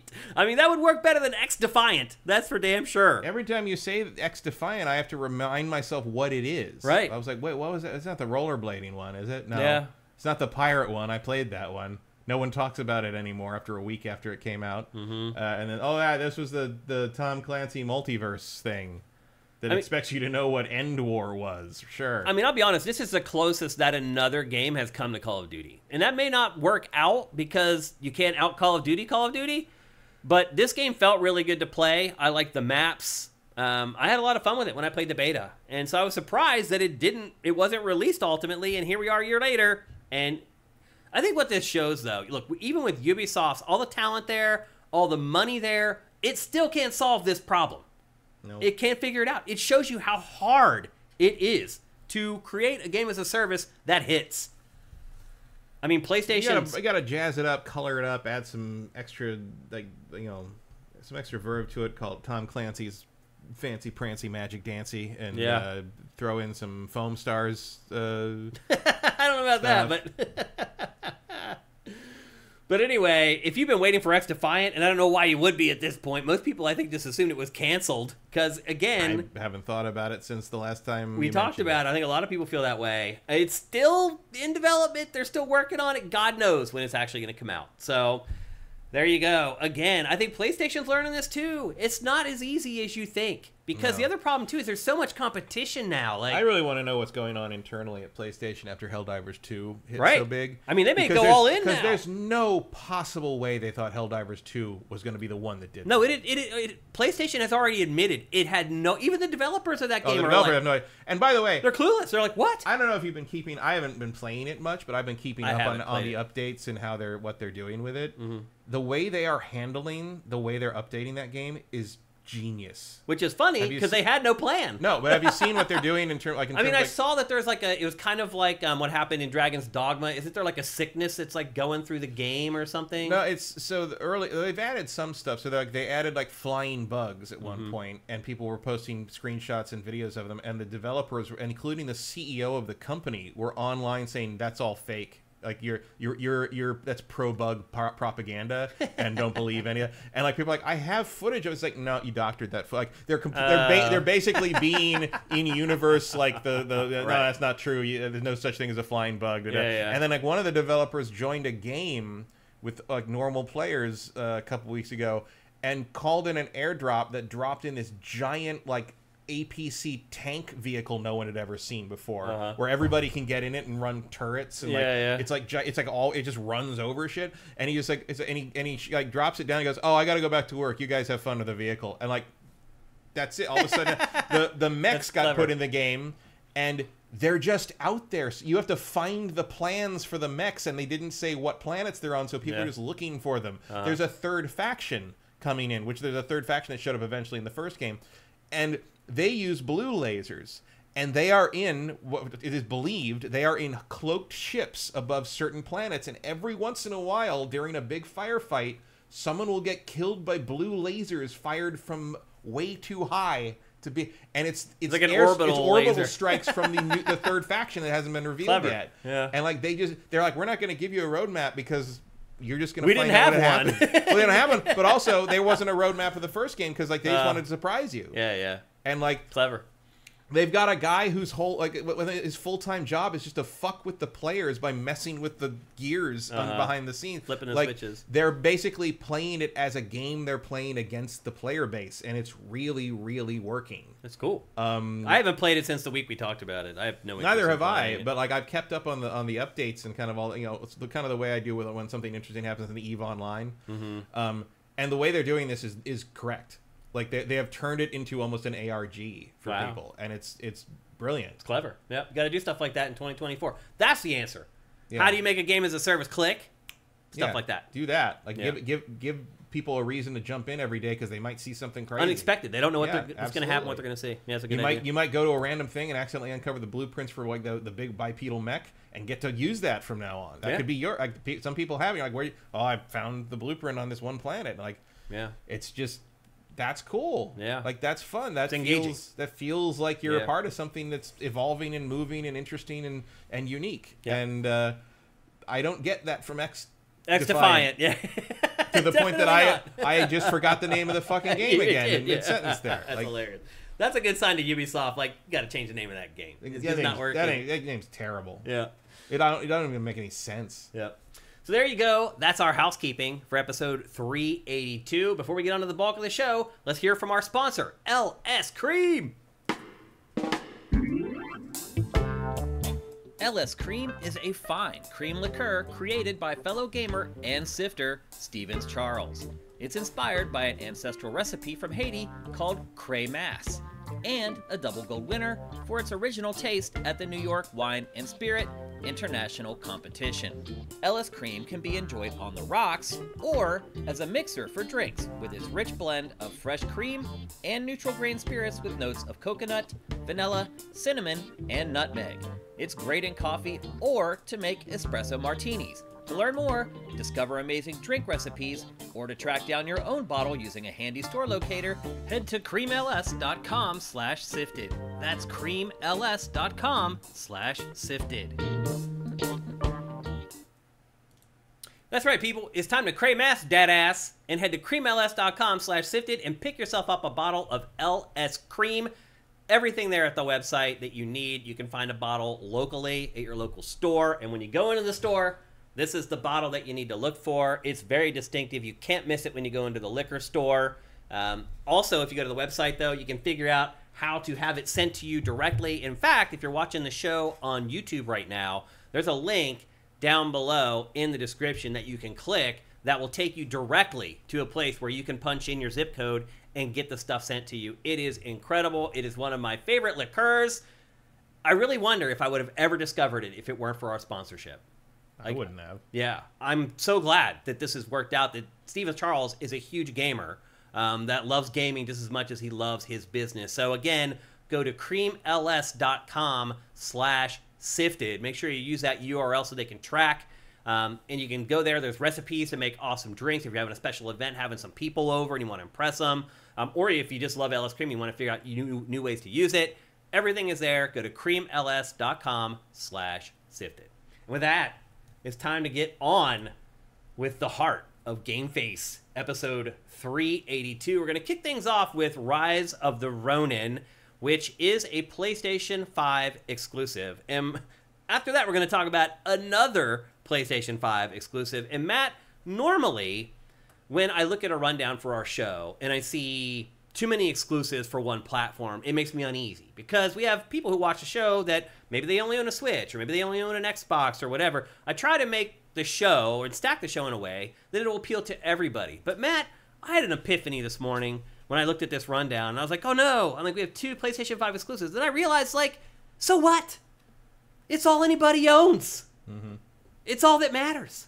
Like, it's so funny. Like, if you think about some of these other podcasts or Patreons that just focus on PlayStation. And at first I was like, oh, that's very short sighted to just focus on PlayStation. They bet and won because, let's be honest, this is the stuff that really matters the PlayStation 5 stuff. It's what most people are going to play and are going to buy. So don't take this Yeah, I as mean, me. I'll, I'll see you when Hellblade 2 comes out, but Right. other than that, what are we talking about? Yeah, right. I mean, don't take this And as it's what like, came out. Yeah. Don't take this as me saying like, "Oh, we're gonna, we're not going to we're going to cover Xbox differently going forward." We're not.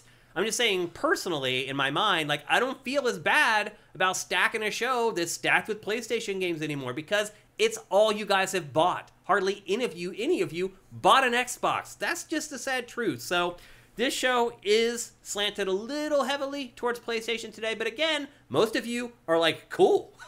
Well, also, that's the console again, I own. It's what came out. Yeah. But Yeah. end Well, of discussion. Pretty Like- much, yeah. We all, that's also part of it. But anyway, just wanted if, if some of you Like if you're upset fans- it's all PlayStation exclusives, go yell at Nintendo and Microsoft for not putting anything else out. yeah, we week. can't Like, force them to release games for the other platforms. So we're doing the best we can here to make sure we make a show for everybody. Though I just want you guys to know that. So today we're going to talk about Rise of the Ronin. It is an open-world action RPG developed by Team Ninja of Ninja Gaiden fame. Although, do you think most people know them for for like Nioh now I don't think most people know them. Period. at all? The we people do. who made Ninja Gaiden are long gone. yeah. I'm sure there's some people still, but like the the, the the leaders of those teams don't seem to work there anymore. Yeah, in this game, I feel like is evidence of that as well. Mm-hmm. It doesn't feel like a Team Ninja game, but I didn't feel like Nioh really felt like a Team Ninja game either. So No, I mean it, it had some of their philosophy in it, but it didn't feel like Ninja Gaiden. Yeah. Obviously, it felt like Dark Souls by way of someone who really, really, really likes bars. Yeah. like Yep. stamina bars. Um, in this game, like it feels like every other game at this point, is challenging. It's not an easy game. Um, I'm just gonna tell you right now, full disclosure, before we start talking about this, I played the first five hours of it on the medium difficulty setting, and I just said "f this," and I put it on the easiest difficulty setting and played it the rest of the way, and never looked back and never gave a shit. And I will do this now going forward. I don't care anymore. I don't care about the whole like, oh, I beat it on hard. I don't care about that anymore. I want to enjoy video games. And the first five hours of playing this game was a nightmare. Just dying constantly, not able to make headway. As soon as I put it on the easier difficulty setting, and I'll let you know that that easy, easier quote unquote difficulty setting, it's still harder than like any Assassin's Creed game ever. On Well, the I mean, easier, Assassin's on the easier difficulty setting, it's still harder than Assassin's Creed. But what I'm getting at is like that's what most people like. They like the difficulty curve of games like Assassin's Creed. I really feel like every game now is like hard as nails. And I really wonder if it's starting to hurt the industry. It's like if you're like my uncle or one of my brothers who kind of plays video games and you only hear about the big games like uh, uh, because they they bubbled up in some way or like everyone's talking about them on social media. If you've been doing that for the last couple years, almost every one of those games has been hard as nails. So I'll I'll counter that by saying it didn't hurt Elden Ring at all. Has it? Like we'll see. Like that's what I was getting at. Yeah, a lot Elden- of people bought Elden Ring. Like my uncle bought Elden Ring. He was like, "What the f is this?" My brother bought Elden Ring. He played it for three hours and was like, "What is this?" My point I'm getting at is like, why does every game have to be hard? Like, I feel like it's turning off casual people to video games because every big game now is hard. Like, That's interesting because I have kind of the opposite response to this. okay, Um, I think this game is incredibly stupid. And Okay. Well, I won't and- disagree with that. And wait, I mean, probably different, and for probably For the same reason you think that, but also different reason. Yeah. I think this game is the most simplistic piece of shit in terms of combat I've played in a very long time, and I don't understand what people are talking about online when they talk about how deep this thing is. All you need not. to do if it's all about It's blocking not. with the They- I don't triangle understand button. what they're That's talking it. about it. The whole game is Um, driven by and blocking the, with triangle. and Here's the thing. I think this game is pretty easy for the most part. I do not. Um, the thing is, the hardest thing in this entire game is the first boss fight.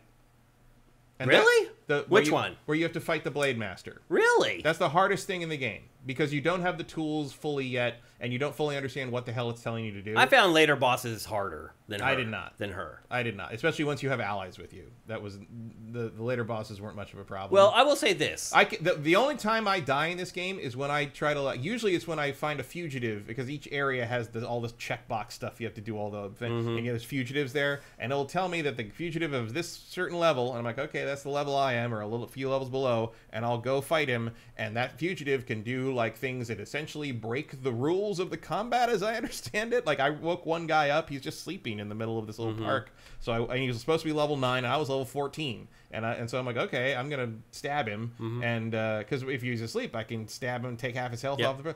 And then he just did five, four or five red uh, red attacks. You can't block. You have to like counter or dodge. yeah. And but even the window for countering or dodging the red attacks is like oh, razor well, thin. so I'll, I'll get to the do- I'll get to that later. That's not important right now. But what I'm saying is. You shouldn't be able to do that because the the other char- the enemies also use stamina and ki to like kind of Mm-hmm. like deal with. If you wear their ki down to nothing, you get to do a, a big attack on them. Yep. Um, that's kind of the whole balance of the system. Um, and Which I, is I, and like I- Sekiro in and I literally, oh, there's a lot of Sekiro in this game Yeah. from people who didn't understand why Sekiro works. Yeah. Um, but like the pro tip, uh, the fact that Sekiro has no fucking stamina bar is key to why it works. right. True. Like the problem Yeah. with one of the problems with this game's combat system is you constantly are ending up in the situation where like I'm fighting all these guys and we're all cool. Oh, now we're tired and we have to stop for a second. It It's is like, weird. What is the point? And you're supposed to throw in, you know, like the same way that uh, Nioh had that thing where you could throw in the the the blade flash Yeah, thing. in they the have middle that of the in this combo. too. That's in this too, and you get like you can upgrade. Like I, that's one of the first things I upgraded to give me 15% of my ki back Mm-hmm. because that's the only way I could keep sustained pressure on somebody. Yep. Um, Because you're right. If you keep spamming your attacks, you get tired and you can't do anything.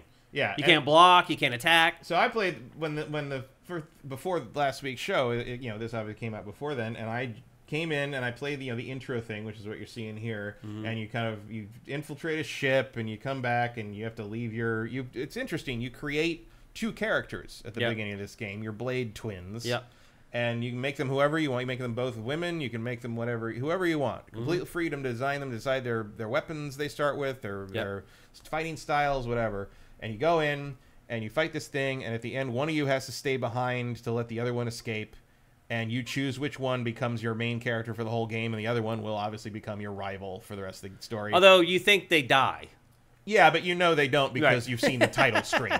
So Yep. you didn't make me create The a game makes you for- think they're dead. Yeah. Except it doesn't because you didn't spend 15 minutes creating a character for them to kill them off in five minutes. Like, come on. People. I didn't even There's no- create my second character. I just cho- I just Well, chose did. whatever they I'm- set up. I'm, I made them both very specific characters. I just created one, and then Um, just the second one, I just let them pick. and uh, they and also if you watch the opening intro, they show a guy. uh, What your, the character, the default characters are fighting each other, and Mm-hmm. one of them has an, a mechanical arm. So you're like, okay, he got his arm cut off, and that. yeah. But like you go back and um and basically uh, the your your Ronin camp whatever gets attacked by ninjas and I don't remember why and you have to fight your way through a bunch of ninjas and you get there and you realize that the the your your blade twin is still alive and out there doing something somewhere so you want to go find them and the old lady the blade master is like no one can leave the village so you have to fight her Which is And absurd. that fight sucks it did- and I got it killed took me like, a bunch of I killed like yeah. three three or four times and I just put it down and went back to Dragon's Dogma 2. and I came and after we didn't talk about it on the show last week, I went back and I'm like, okay, I guess I'll try this again. And I did get through it after a couple more tries, and I have basically never had a problem with a boss ever again. Oh, because Oh, I've died. I died so many times in this before I changed the difficulty. I so many. Like I rank and file guys would kill me sometimes. I just the camera would catch them. I, they just come off the screen and hit me, or I just wouldn't pay enough attention. And like some attacks will take half of your health, and if you're not paying attention Well, and using the health one of the- replenishers, One of the, I mean, yeah, they do. Everybody does do a lot of damage. But Yeah. one of the things I learned was um, uh, a don't take stupid risks. They keep talking about do, using the counter spark attack to like mm-hmm. deflect bullets and just block. Ninja stars, Just yeah. fucking block. Unless you really know you're gonna get it, just block. It's not The other thing the too risk. is if you if you do per- time it perfectly and they throw like a star at you or whatever and you deflect it, you don't have enough time to get to them to deliver the attack before the stun wears off. If they threw the star from like 20 feet or whatever, by the time you get to them, it's worn off and they're ready to fight again. Well, if you hold triangle, you will do a dash attack at them, which usually, usually It won't always reach, though. It won't always reach, but usually it will reach. yeah. Um, but you can't get you can't bet on it. And the weird thing about this game is you, there aren't any attacks out of running.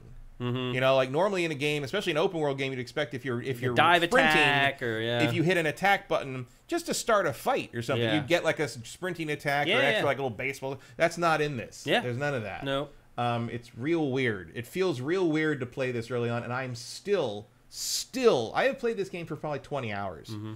I am still hitting the wrong button to sprint Me too. because it's circle. I changed it. I keep clicking. I changed it. the left stick. I changed it to and click that's stick. stealth. And I'm just like, oh. I flipped like- them. I flipped circle and click in the stick. The problem though is that like I can't figure out how to like toggle the sprint. There is no toggle for the Yeah, sprint. so you, have, to, hold click it. and hold the click down But to well, if- run. Well, if you hold it for a certain number of seconds, it will stay. as long as you keep it pushed all the way up. no, no.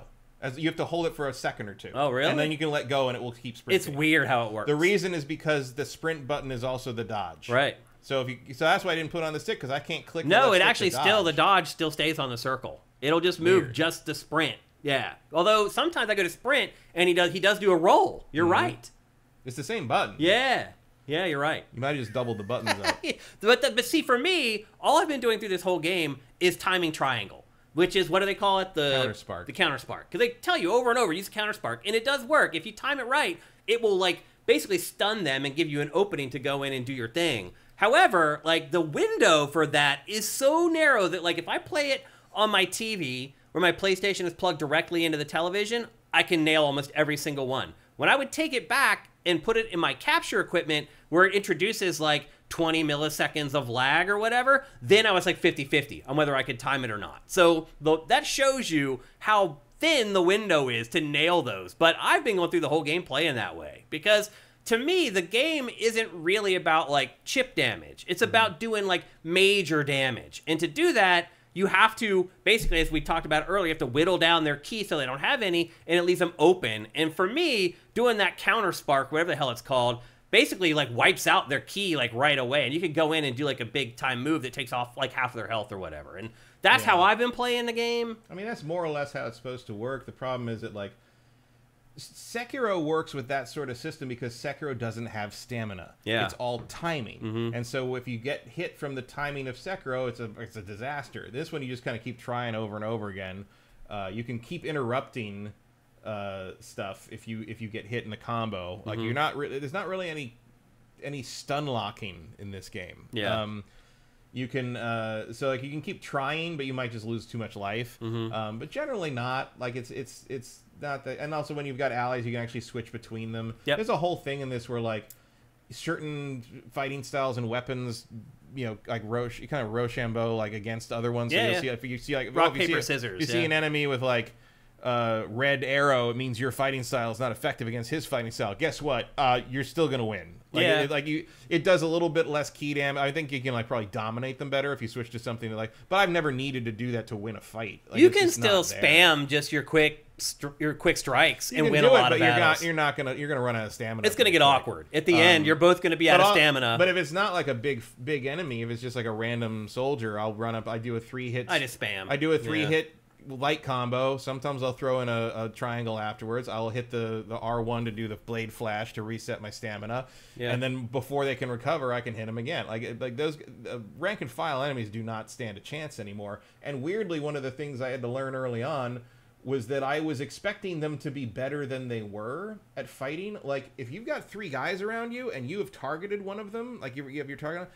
That's the only guy who will attack you nine times No, you're out right. of ten. The rest will Like, just they dance will all around, just stand yeah. around and wait. It's And like so I- Assassin's Creed. and so I kept standing there waiting for them to do something and waiting to like, and I was like, oh, I'm gonna block over here. Oh, I'm gonna counter over here. Nope. And like, no, it's just I was just Doesn't reacting to nothing. And so I, one of the reasons I was getting hit was I was expecting them to be more aggressive, and they just aren't. Yeah. Which is weird. But I, even on the easier difficulty setting, obviously, Unless they're off camera, then they'll hit you from behind Yeah. after you've killed another guy. It's, it's strange. Yeah, even after I put it on the easier difficulty setting, I still died every once in a while. I would still die a few times to each boss, and uh, like I said, if you get overwhelmed sometimes and some dude attacks you from off screen, I would still die. It's a very weird combat system for an open world game. Yeah, That's really what I, I. It was weird to me because like I'm, you're basically riding around playing like an Assassin's Creed kind of thing, where you're all these different things to do and these different places. You're riding a horse around. Which, by the way, you can get better horses that are faster. But one of the other stats the horses have is stamina, and if the horse can run out of stamina, I have never seen it happen. me either. There's no. and sta- I've ran a you long Yeah, you gallop as long as you want. I don't know what the stamina Yeah. is. If it means that, but maybe it means like, well, no, that's not the this thing for like getting knocked off the horse because that's a different stamina. That's a different stat. The, Yeah. the, the harnesses Yeah, yeah. upgrade. I don't know what the stamina means in this game. For Yeah, I the mean, there's a whole thing in this game too where you get like horse armor and different tack Yeah. that you can use, Well, and this it is affects this your. is just the usual Team Ninja thing these days of just systems on systems Oh, on systems. it that gets just don't- ridiculous. Don't, matter. It's And, ridiculous. Like, I I just got overwhelmed with it after a while. Like there's this look whole. at. I mean, look at that. You can hold two thousand items. Dude, the other thing about this game is like selling all the stuff you get is a full time job. Like you get so much, you don't even There's realize tons it. and tons You don't even realize it until you go look in your inventory. You're like, oh my god, I won that fight. I just got thirty things. Mm-hmm. Like, you, literally, it's a full time job to sell off all the crap that you get that you don't want. Like the gear creep in this is crazy. Like, literally, you just Mm-hmm. get another sword that's like. Two more powerful than the one you had before, or you'll beat a boss and you'll get a sword that's like 80 powered higher than anything else, and you keep that sword for the next like six hours Yeah. or whatever. Like, And then like there's an upgrade, like a blacksmith upgrade thing, but it doesn't upgrade anything enough to be worth. but they keep pushing you to it. They keep telling Like, you the go there. i'm like, no, the, I'm going to spend two thousand money and like a bunch of resources to upgrade this five Yeah. damage when I could just use this other sword that's like fifty more that I picked Yeah. up from a random side quest. It's very weird. And here you're seeing the skill trees. There's four different skill trees based upon your four different attributes. Four different skill trees and five different upgrade points. Yeah. There's a, there's general skill points, and you'll see there it says cur point. That's charm points. Every it, every tree has its own charm points, intelligence points, dexterity points, and strength points, and you can only get the the specific points from doing certain things and accomplishing certain stuff, or getting certain items that, that add one for you, like like, like manuals and stuff. And those are your those are your um your bottlenecks. On Yeah. this. Uh, Like you you have to use the specific to the tree skill points to open certain skills, and until you get them. You're stuck. The There's currency's all do. goofy too. It's like the main currency that you get, like, is worthless. There's nothing you can buy it. Like you get these other separate Yeah, you can silver only coins. standard money only goes towards blacksmithing and like buying like health stuff from the Yeah. apothecary. The real currency is this silver plate stuff you get from other things, including the cat concierge mini game. Yeah. which is not what I. That's the best thing in this game is the cats. like you got one of the collectibles is literally all the cats in Japan. Yeah. and you go pick them up and hug them and they run off. And then there's a geisha who loves all the cats and like basically gives you rewards for. For bringing enough cats, but then you get You still it- have to pay with the silver coins, but- though. Oh yeah, but you get them every time you get a cat. You get some silver coins. Yeah. and like eventually, and then the calicos you have to sneak up on, which is accurate. Uh-huh. And um, it's it's again, uh, this is just this cat system. And then when at your at your longhouse at your home base, you eventually get the cat concierge system, which is like the old Assassin's Creed ship games, Yep. where you have to you pick a mission and you check your cat stats and you send a cat out and the cat's gone for like an hour and then it comes back with rewards. And then there's a dog equivalent with a Shiba Inu as well, where you can put money on the dog and the dog goes to other people's games and however many people pet the dog, that's how many random items he comes back with. And I've gotten some like god tier items, Like really good that. stuff, If you really. give the dog ten thousand money and send him out and come back in like three hours, I've gotten I got a uh, what was it? I got a charm that upped my ki like like uh, uh Like a um, ton. regeneration by like seventeen percent. Wow. Like it changed how I fight. But these, but to Matt's point, the systems that's just the scratching the surface. They keep piling on. There's this whole like bond system with other characters where if you mm-hmm. do things for them, you create this bond, and then that determines whether you're like pro Shogun or anti Shogun. Well, that's a separate thing. It's So, like- insane. So, the bond stuff is like you, you can get their fighting styles and certain bonuses from them, and then each all the all the bond allies are are separated into either pro shogunate or anti shogunate, and you have to and when the story missions come up after a certain point, you'll see they are split into a pro shogunate or anti shogunate version. You have to choose which mission giver to go to depending on the co- like I think purple is anti is pro shogunate and green is anti. And the problem is, Here you can see the Assassin's Creed syncing the Right. area. and the problem is the pro shogunate thing. Like they don't do a very good job of incentivizing you to pick one or the other because like the pro shogunate is so, uh, so far is the head of the geisha house who is clearly manipulating everybody to do what she wants them to do, uh, and uh, the red demon who's the big uh, the prefect guy I remember the, the the the local daimyo, I think it is, and he's histor. I mean, this is all historically based. It's in Mm-hmm. Yokohama, which was the first Western port in Japan, and it covers the period of time in 1859 when they signed the treaty that basically opened Japan to the west. Yeah, because Japan And was like an isolationist they were in country. isolation for hundreds of years. Yeah. and this is the first contact with outside people they'd had in forever. And that's what this that's why whole game is Yokohama about. looks like Yeah. looks like a, a European town because they the Europeans who came in basically built it up that way. And the guy he's he's trying to sign a deal with with them and, and bring people in and um and he's he's known as the Red Demon, and historically he basically perpetrated a reign of terror on this part of Japan during the period of time, and you see that in this game. Yeah. So you could side with him, or you could side with the anti-shogunate, which is a group of the coolest dudes you've ever met. Right. Like yeah. there's one guy, who but you don't want to be a part of them. there's one guy who gets drunk all the time. There's one guy who's just a wacky dude who wanders the countryside shooting people whenever he wants to. There's Yeah. one guy who's addicted to gambling. Like it's well, here's just, the drunkard right the here. drunkard. Yeah, the drunkard just gets drunk and fights people and forgets he did it. Well, the, you fight him the first time he's Yeah. drunk. Yeah. That's a pretty hard fight. Yeah. That um, is a because you're not fight. expecting it. Yeah. And like you're stuck in this little little area with him. courtyard yeah Oh, I found a lot of fights to be hard in this. Again, like I don't feel any guilt for turning down the difficulty in this. Like I actually moderately enjoyed the game once I did that. Like I, there's no, I have no shame, and I won't going forward. I'll have no shame.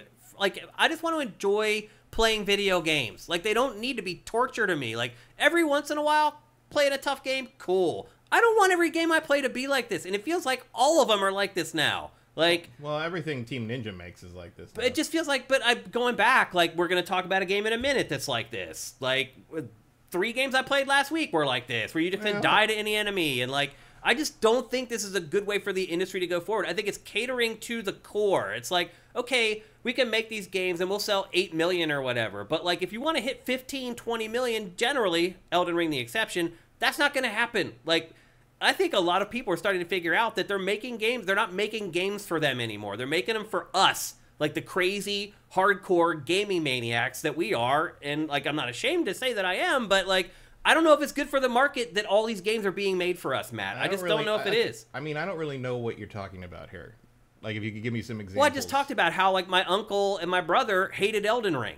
And they're like, wait a minute, this is like the big thing that everyone's talking about. This is like the like they went and bought it. Like they're like, dude, look at the reviews of this game. Look at all the people talking about it on social media. This game has to be for everybody. This has to be an awesome game everyone's gonna love. And they went and bought it and they're Well, like that certainly isn't this. and they're like, what the hell is But, like- this isn't Elden Ring, but it's still hard. I mean, like, it's still taking cues from the Souls. I mean, this game doesn't exist in the form it exists in if the Souls games don't hit. Yeah. Back when they. I mean, did. look, it's- I'm glad they finally Team Ninja finally put an easier difficulty setting in their games. This is the first one. Oh, I, I hadn't thought of that. Yeah. Yeah, they never- finally never that. relented. Well, I mean, they did have difficulty settings in Ninja Gaiden. But even the easiest was still hard. Ninja, basically. Ninja Dog was was not Yeah. uh, a walk in the a walk. I was surprised when I turned it down on this. They didn't give me like a bandana or something to signify I was playing it on like the easier setting. But they're they're very cool about it. I guess is the way I would put it.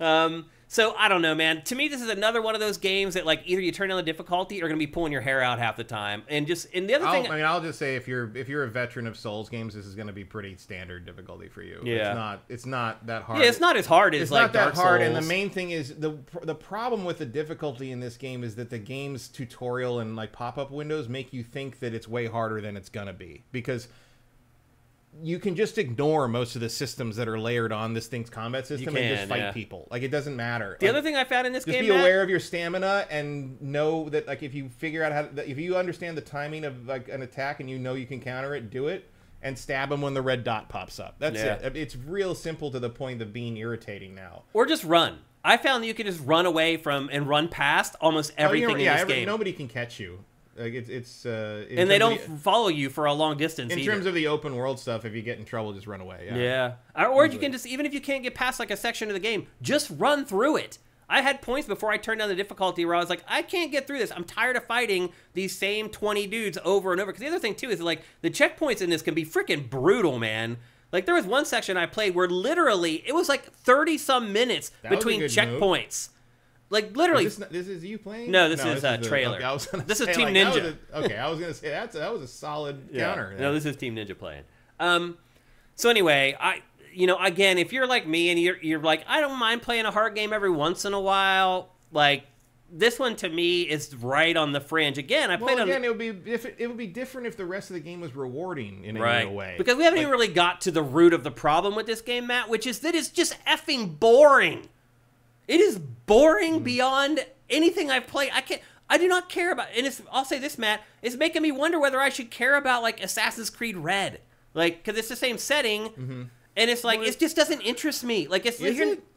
Is it? What do we it's know? set in feudal Japan, right? This is not feudal Japan, though. This Yeah. Is, this is this is uh, Meiji Restoration Japan. Um, this is a very different. I we mean, don't know I a lot about Red yet, honestly. I don't know if we know when Red is set. I mean, I think Yeah. a feudal Japan set. Because look, you know what else is said as a samurai epic in in Japan is Ghost of Tsushima, and that's great. Ghost of So- Tsushima makes this. It shows you though, like how it's done right. Oh yeah, Like- hundred percent. playing through this game, it makes you realize so many things in Ghost of Tsushima where they made the right call. Mm-hmm. Where you're like, oh, I see now why they decided to do it that way in Ghost of Tsushima because it doesn't freaking work and it's boring as hell. Matt, there's a section of this game where you go to like basically like the red light district where all the geishas are and all the prostitutes are, and it's still boring as shit. It's like if you can't make going to the red light district interesting, what the hell? Mm-hmm. Like the whole game is like that. Nothing ever happens where I'm like, oh, that's interesting or that's cool. Like I just, this, I just found this game dreadfully dull. I mean, I thought it was funny when you had to fight the admiral guy. His name was Matthew Perry. right? That's a real historical person. That's It why his is, name is yeah, that. But yeah. it's like that's funny. You're fighting the guy from Friends. Unintentional humor, yeah. But one thing I will say that I did like about it, like you can get around the world pretty easily. There's fast travel out the yin yang. Like if you've seen in the B-roll, you have a glider, you have a horse. You can actually work in tandem. Like you can glide, and then while you're about 20 feet off the ground, call your horse, and your horse just swoops in right underneath you, and you land right on the horse and mm-hmm. keep riding. Like there's cool little stuff like that in the game. But otherwise, like I just found it dreadfully dull and boring. Well, then like they're showing like all the pulling and the like stealth killing. Like the stealth in this game is awful. Like it's just like like you're you have no idea where anybody is until later in the game when you get a bell that lets you see Right. where people are. Mm-hmm. And then I realized after a, a couple times using it, they can hear the bell When you ring the bell, And yeah. you ring the bell, they'll be like, "What was that?" I'm like, "That's not the point of a fucking thing like that. What are you doing?" Like. Yeah. It's so annoying. There's nowhere to hide. Yeah. Like you, I you- really struggled to squeeze entertainment out of this game. I gave it I- everything I had. I lowered the difficulty. I tried, and I made headway. It was crazy. I'll say this too. It was crazy how fast I could go through the game on the easier difficulty setting. I've made a fair amount of head. I mean, I've, I've played a lot of the open world stuff. Wandering around the world and doing random stuff is still mi- mildly entertaining to me. Mm-hmm. Um, but I keep thinking of um, uh, Outcast Hmm. that had a similar. I mean, it, but like Outcast didn't have the self seriousness of this, No, so it wasn't as obnoxious when the cutscenes started. Um, it felt like the the the stuff you were doing was a little more thematically related to things. It didn't feel everything like the cat thing in this is great, but it feels so dissonant with the rest of the game. Like, yeah. all the all this the open world collectible stuff doesn't re- none of it really gels together into something that feels like a coherent whole, as opposed to like um, Ghost of Tsushima, where like a the combat system felt like it was just complex enough and, and had enough to it that an open world game that you could run into fighting at any time like it made more sense. Whereas this. I have I'm not kidding. I have like 30 different fighting styles I can swap between between like nine different weapons. Yeah. And I'm like, I'm just gonna use the normal I don't need 'em, sword. yeah. Because like I don't understand I use a katana as well. I have Yeah. seven fighting styles Yeah. just for the I katana. know. They they put too much focus in And the wrong places, and no one cares. Yeah, it doesn't matter. They they worked way too hard on stuff that no one's gonna notice and no one's gonna care about, and didn't work enough on the stuff that's obvious. Like, I don't Also, know. I could tell you who Jin is in Yeah. Ghost of Tsushima. Like he's a character, he's a person. Like he has he has feelings about things. I know how he thinks about things, and I know that he he has a he has a big thing about honor and wants the respect of his uncle. But he but he also knows he has to do whatever he has to do to protect Japan and protect his people. Uh, he also uh, loves animals, and he was more concerned about what happened to his horse after the shipwreck than almost anyone else who was on the boat, Yeah, which yeah. I respect. Yeah. Um, you know, one of the reasons he can get to the fox shrines is the foxes know he's a good dude, and he's gonna Yeah. pet them afterward. Like it all, like, there's there's a tapestry of this character that I can put together. In part because he actually has scenes with people. Every once in a while, your character talks in this. You get to get to pick a voice for them. yeah. but like, they only talk. Like my character only talks when she beats the boss, basically. And there's a little cutscene, and she says like a rudimentary word, and Mm-hmm. Yeah. which might be AI generated. I'm not 100 percent sure. Oh, the voice acting in this is terrible, Matt. Voice acting is a bunch of bunch of choices. Everyone in this game seems to be a Japanese native speaker who l- knows English Kind of well knows enough. English, yeah. But some of the some of the accents in this are like I kept the Oh. subtitle. I never keep the subtitles on if I'm using English Me voices because I don't. Yeah. I, it distracts me, and I'd rather. I had to keep them on because like sometimes I I, say, couldn't I don't know. also, it hit a point where I'm like, I'm just gonna skip through the. I'm just gonna read the text and jump through this because like this did not need much like Yakuza. There's moments where Yakuza is better at- back in the day when it was just like there were voiced cutscenes and like 90% of the game was just text boxes you Yeah. could gu- jump through. This game is that too. Yeah. It's like no, just get just get me. I get the gist of it. I understand it. We're gonna yes, the Shogunate is evil. Um, go to the thing, meet the thing, kill the people. I get it. Like there's no complexity here that you need to understand to get through the game. The characters are incidental for the most part. Um, a lot of stuff happens kind of out of order. Like you get the the glider pretty early on, and you immediately can jump off a thing and start gliding around and get straight. Basically, you can. You, it's very funny actually. Early on, one of your big goals is to get this permit that lets you get through this checkpoint that's closed off to get to Yokohama. And in the mission where you go up and fight, get your first ally and go f- get the permit by beating this one boss you then get the glider in the in his storehouse and you can just glide down to Yokohama and you never need to get past the checkpoint. Yeah, you don't even need the Like the permit is never important. You just glide right into Yokohama and nobody reacts to it at all. Yeah. Um which is and then later you run into the guy who invented the glider and there's a whole thing where he teaches you how to use the glider. He's like, it might work. I don't know. It's really experimental, but it should work. The science is, is sound. I'm like, yeah, I know. I've been using it for like four hours, dude. It's fine. You're good. It's- That's straight out of Assassin's Creed too. Who was it that built you stuff in Assassin's Creed? Leonardo uh, da Vinci. Leonardo, yeah, Da Vinci. It's the same thing with this guy. Like you bring him resources, he builds you contraptions. Except and- this takes much, much, much, much, much longer. right. Yeah. Because he wants Yeah. these like foreign books from things, and there's no way to really know where you get foreign books from as Yeah. rewards for things. And it's just that's the thing. There's so many times in this game where I'm just like between the the, the, the upgrade system and how the, the skill points work, and how to up how you have to upgrade and build your relationship and bonds with these other characters to unlock things you then need to unlock the next thing you want. Like I so many times I just felt like I'm stuck. I don't know what to do next. I Mm-hmm. guess I'm just gonna go run around and do random shit because like the next the next mission I don't and it won't automatically like keep you on the main quest path is what I found. You have to start looking through the quest and try to figure out which one is like the main quest. Like I've struggled to The, the top one is always the main one. Is it? And they're- have a different. 'Cause it feels like they have they're- different. No, they're different color. they're for the often lower level, like the main Oh, the main quest is often lower level. Yeah. Yeah. When I first got all those the all the anti shogunate allies and they I- you meet them all and you do the thing. They gave me uh, the the next main quest, which was level 5 Mm-hmm. and another quest to do with the first ally you get, the the the ro- the rogue Han Solo guy. Mm-hmm. Um, that was level ten, and I was level eight at the time. Yeah. So I couldn't do that second. Um, so I came back to it later after I'd gone through more stuff.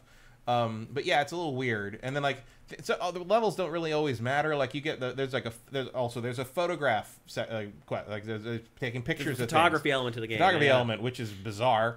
Um, It's some- bizarre. somebody invented Plus the camera is like this camera's big. like this, like, but also pulling it spits out the picture, so it's apparently a Polaroid. Who knew? Yeah. Um, but the Yeah. but the um, so you there's you know one of the open world things is taking pictures of landmarks, and that's marked on the map. But then you can go to the photo photograph guy, and he'll give you specific missions. And all the first set of missions were all listed as level nine, and I couldn't figure out why they were listed as level nine, because they're not combat yeah, why, missions. why They're would like- they be rated at all? And apparently, it's just because they're in areas of the map that are Uh. rated as level nine areas. Nah.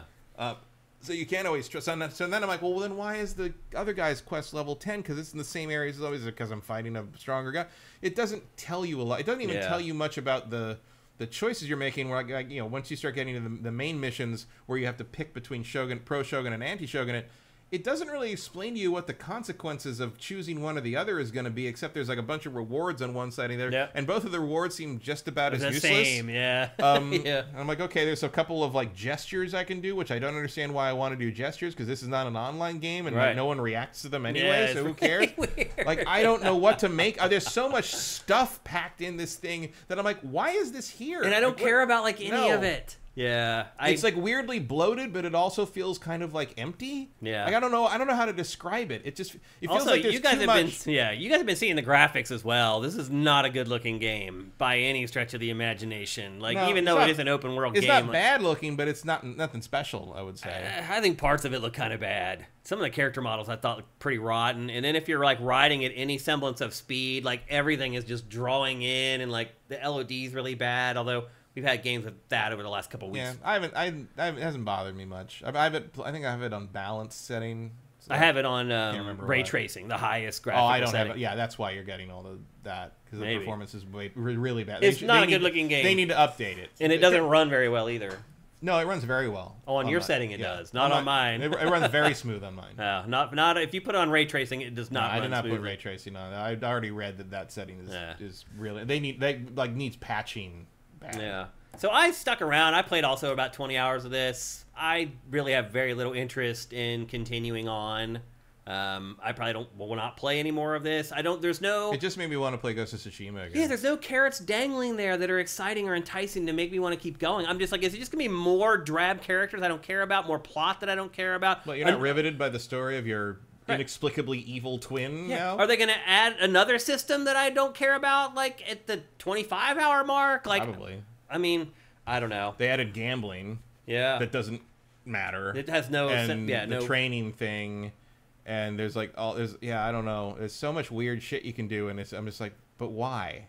Yeah. For what? It's like, oh, you get loot for it. I'm like, I have 400 swords. I don't need I- more. I- and and I have none of them are as good as the one I've been using for 10 hours. I yeah, don't and know I have to tons of you. money too. Like I, yeah, I did, did not really enjoy it. I enjoyed it more after I dropped the difficulty setting. Playing it on the default difficulty setting, I was literally gonna throw it off of the deck of my apartment. I was like, I don't want to. Play, I didn't want to play it at all. And then once I dropped it down to the difficult, the easier difficulty setting, then I actually enjoyed it a little bit, like playing through it. Oh, yeah, I guess there is co op. Yeah, we forgot to mention that. So one of the cool things about this is probably the coolest thing about the game, I think, is some missions you go to do them and they give you the option to like call in for help. And you can call in your friends list, people on your friends list if, if they're playing, or you can just ask They for random not. people. They are not. I don't have but- anyone on my friends list except you playing this. But I'll say this: like every time I put out a call, there were people there in like 30 seconds Mm-hmm. to play, and it makes a world of difference. The other thing too is that like I could be playing the bulk of the game on the easier difficulty settings. Then if I call in people to help, I can jack it up, and I can. And I don't even know if there's any reason to do that. I haven't. I don't think It doesn't so. seem like it, but still, I'll I'm sure jack there's it a trophy for beating it on whatever difficulty at the I end. tend to jack it up because I think I'll be more likely to match with people if I put it on the default difficulty versus the easier one. And sure enough, within 30 seconds, there's two people there ready to play, and they. If you play with two other people, you can accomplish these missions in like a minute sometimes. Like if you're a good people who know what they're doing, like sometimes they just leave me in the dust, and I'm like running to catch up with them. By the time I get there, the mission's over, and they've already beaten the boss or I mean, whatever. so classic Souls Yeah.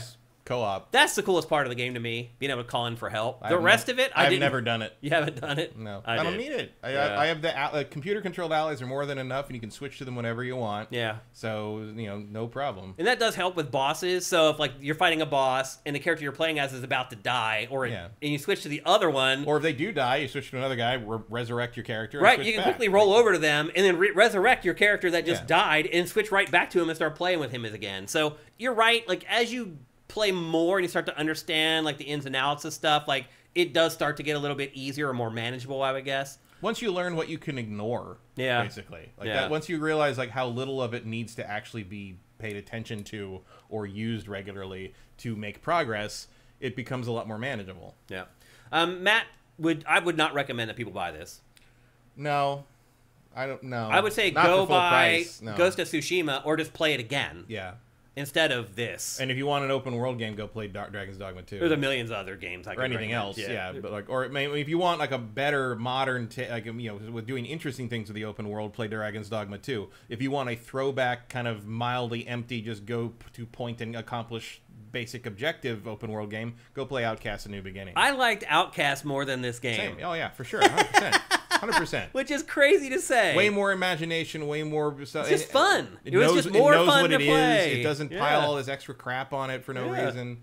No, Yeah. it's a pure, it's a pure, you know, distilled like baseline open world game. It was just more enjoyable. Like I just didn't have fun playing this game. Like I just didn't. didn't dislike this game, but it's not worth seventy bucks. Yeah. And it's not. Uh, it's it's not particularly engaging most of the time. Yeah. Um, I did enjoy the my, the most enjoyment I got out of this game is the same enjoyment I get out of most open world games. Is once you let me go and I can just run around doing whatever I want, and I can put a podcast on and just do that for like three hours. Mm-hmm. Just did that just fine. Yeah. But I would argue that because sometimes you get in a fight and you actually end up having to fight for your life because sometimes these guys are tougher than you think they're going to be. It's not really a very good kickback and relax open world game. no. So I'm not sure who to recommend it to. That's that. why I can't recommend You it to anyone. I would not buy it. Like if Um, you're a Souls pro who wants like a rudimentary, I might, I, it's the first. It's very clearly the first open world game Team Team Ninja's ever Yeah, made. yeah. Like it's, it's that's tr- you know it's an em- people have been calling it an empty world, and it pretty much is. Like there's not I mean, a lot it's happening. filled with just stuff you don't want to do. filled with endless. I mean, there's like you know NPCs everywhere. I mean, it's not Yeah. a dead world. It's not like empty Yeah. in terms of there's literally no objects. It's just in it. nothing fun there's to nothing do. to do. Yeah. um like if you want if you if you're confident in your stamina meter management and you want to apply that to a random open world game where you can run around and you know you liberate little villages and do that go nuts but again i still i'm still not happy i paid 70 bucks for this Yeah. it's like I would I, even after what happened to me with Dragon's Dogma 2, I would I 1000% recommend Dragon's Dogma 2 over this game. yeah it's just doing more interesting things Yep. and that game also has systems on systems on It systems does, yeah. but most of the systems matter Yeah. And I I also don't- found my in my mind mixing up the two games. Mm. Like when I was thinking of this morning when I was thinking about like what am I going to say when I talk about I start I realized I started pulling elements from Dragon's Dogma 2 into this game for some reason. I'm like, "Oh no, wait, that's actually Dragon's Dogma Mm-hmm. 2." So, um, anyway, that's Rise of the Ronin. It is a PlayStation 5 exclusive. I wouldn't say that's two thumbs down from Matt and I, but that's two don't buys. yeah it's kind of too i don't know it's it's it's fine Yeah. it's not bad You think they'll make a sequel? I don't know. I think they will. I don't know if this Because it's I don't know if this- competent. I don't know if this thing's gonna sell enough to warrant that. Well, my guess is PlayStation paid a ton of money for the development, and the money isn't that important. Yeah, to, well, you know what that also describes? Bloodborne. Yeah. It also means that they allowed PlayStation to take the risk. Right. Exactly. They're like, well, this failed. Now we, we didn't lose the money. no, we learned we learned a lot from building this Yeah. open world, and now we can go make our own game Right. we, own and make it good. Yeah. And that I would play. Yeah. I mean, I would definitely. I'm definitely interested in what they do next with this. But this, a lot of this feels like proof of concept to me. Mm-hmm. Yeah, I agree. So there you go. That's Rise of the Ronin. Again, it's a PlayStation 5 exclusive. Next up, And again, aren't you glad they didn't just make a Ninja Gaiden game? why don't they? Because they can't. Yeah, I don't think they can that's, anymore. That's not there. Because if the Ninja Gaiden game would have a stamina bar. Yeah. Like this is what that would be. No, you're right. Yep. Uh, next up, as I mentioned earlier, hinted earlier, another PlayStation 5 exclusive, a game that a lot of y'all have been tracking for a while now, a game that Matt and I have been reluctant to embrace. It is a game called Stellar Blade. We talked to you guys about it last week. We mentioned that there was a demo going up on the PlayStation Store that happened. Matt and I both downloaded it. We both played it from the beginning to the end, and now we're going to talk about it. Um, before we get going, Matt, what is what is the thing that surprised you the most about Stellar Blade now that you've actually played it? How limited the combat is. Okay. A lot of people's previews, they were surprised at how deep the combat was. I don't know what they played. Yeah. um, they, uh, I mean, some of this is because a lot of the, some of the, if you want to call it depth, is locked behind the skill tree early on. Um, but thi- I was expecting more of a Devil May Cry, um, Juggled uh, stuff. Bayonetta and- clone, and it isn't. yeah. It's it it doesn't have half the the variety and the depth that those games do. This is more. There's a lot more Nier Automata in this one. He said he was inspired by it. The guy I can that, see. I can see the lead that. developer. I mean, I assume that was because you're playing a robot sex pot Right. uh, more than like what the game and you know, Yeah. and certainly he did was not inspired by the content of the uh, of the narrative of automata Yeah. because that's not here at all. Yeah. I guess the other thing I might be say I was surprised by, not surprised by, but I guess impressed by the technical presentation on this is flawless. It looks really like, good, It is yeah. gorgeous. Yeah. Like the all the space stuff here is amazing. All the stuff on the ground, like the the detail in the game in terms of the visuals, in terms of just like just the rocks on the ground, Yeah. amazing. Like they knocked it out, and it runs pretty well too. Like it's like I am extremely impressed by the tech on display. It really bucks the trend of a lot of those games coming from Korea, where you see a trailer and then the game never comes out at all, Mm-hmm. or when it finally does, it looks nothing like what it's supposed to look like. Yeah, Like- no, I'm they they delivered on this in terms of the visuals for sure. Yeah. uh, it's too bad so much of the visuals are, de- are devoted to uh, the fact that most of the characters in this game are from late '90s softcore porn Yeah. art. Now the art is a different story. Yeah. Like technically, this game is a really good looking.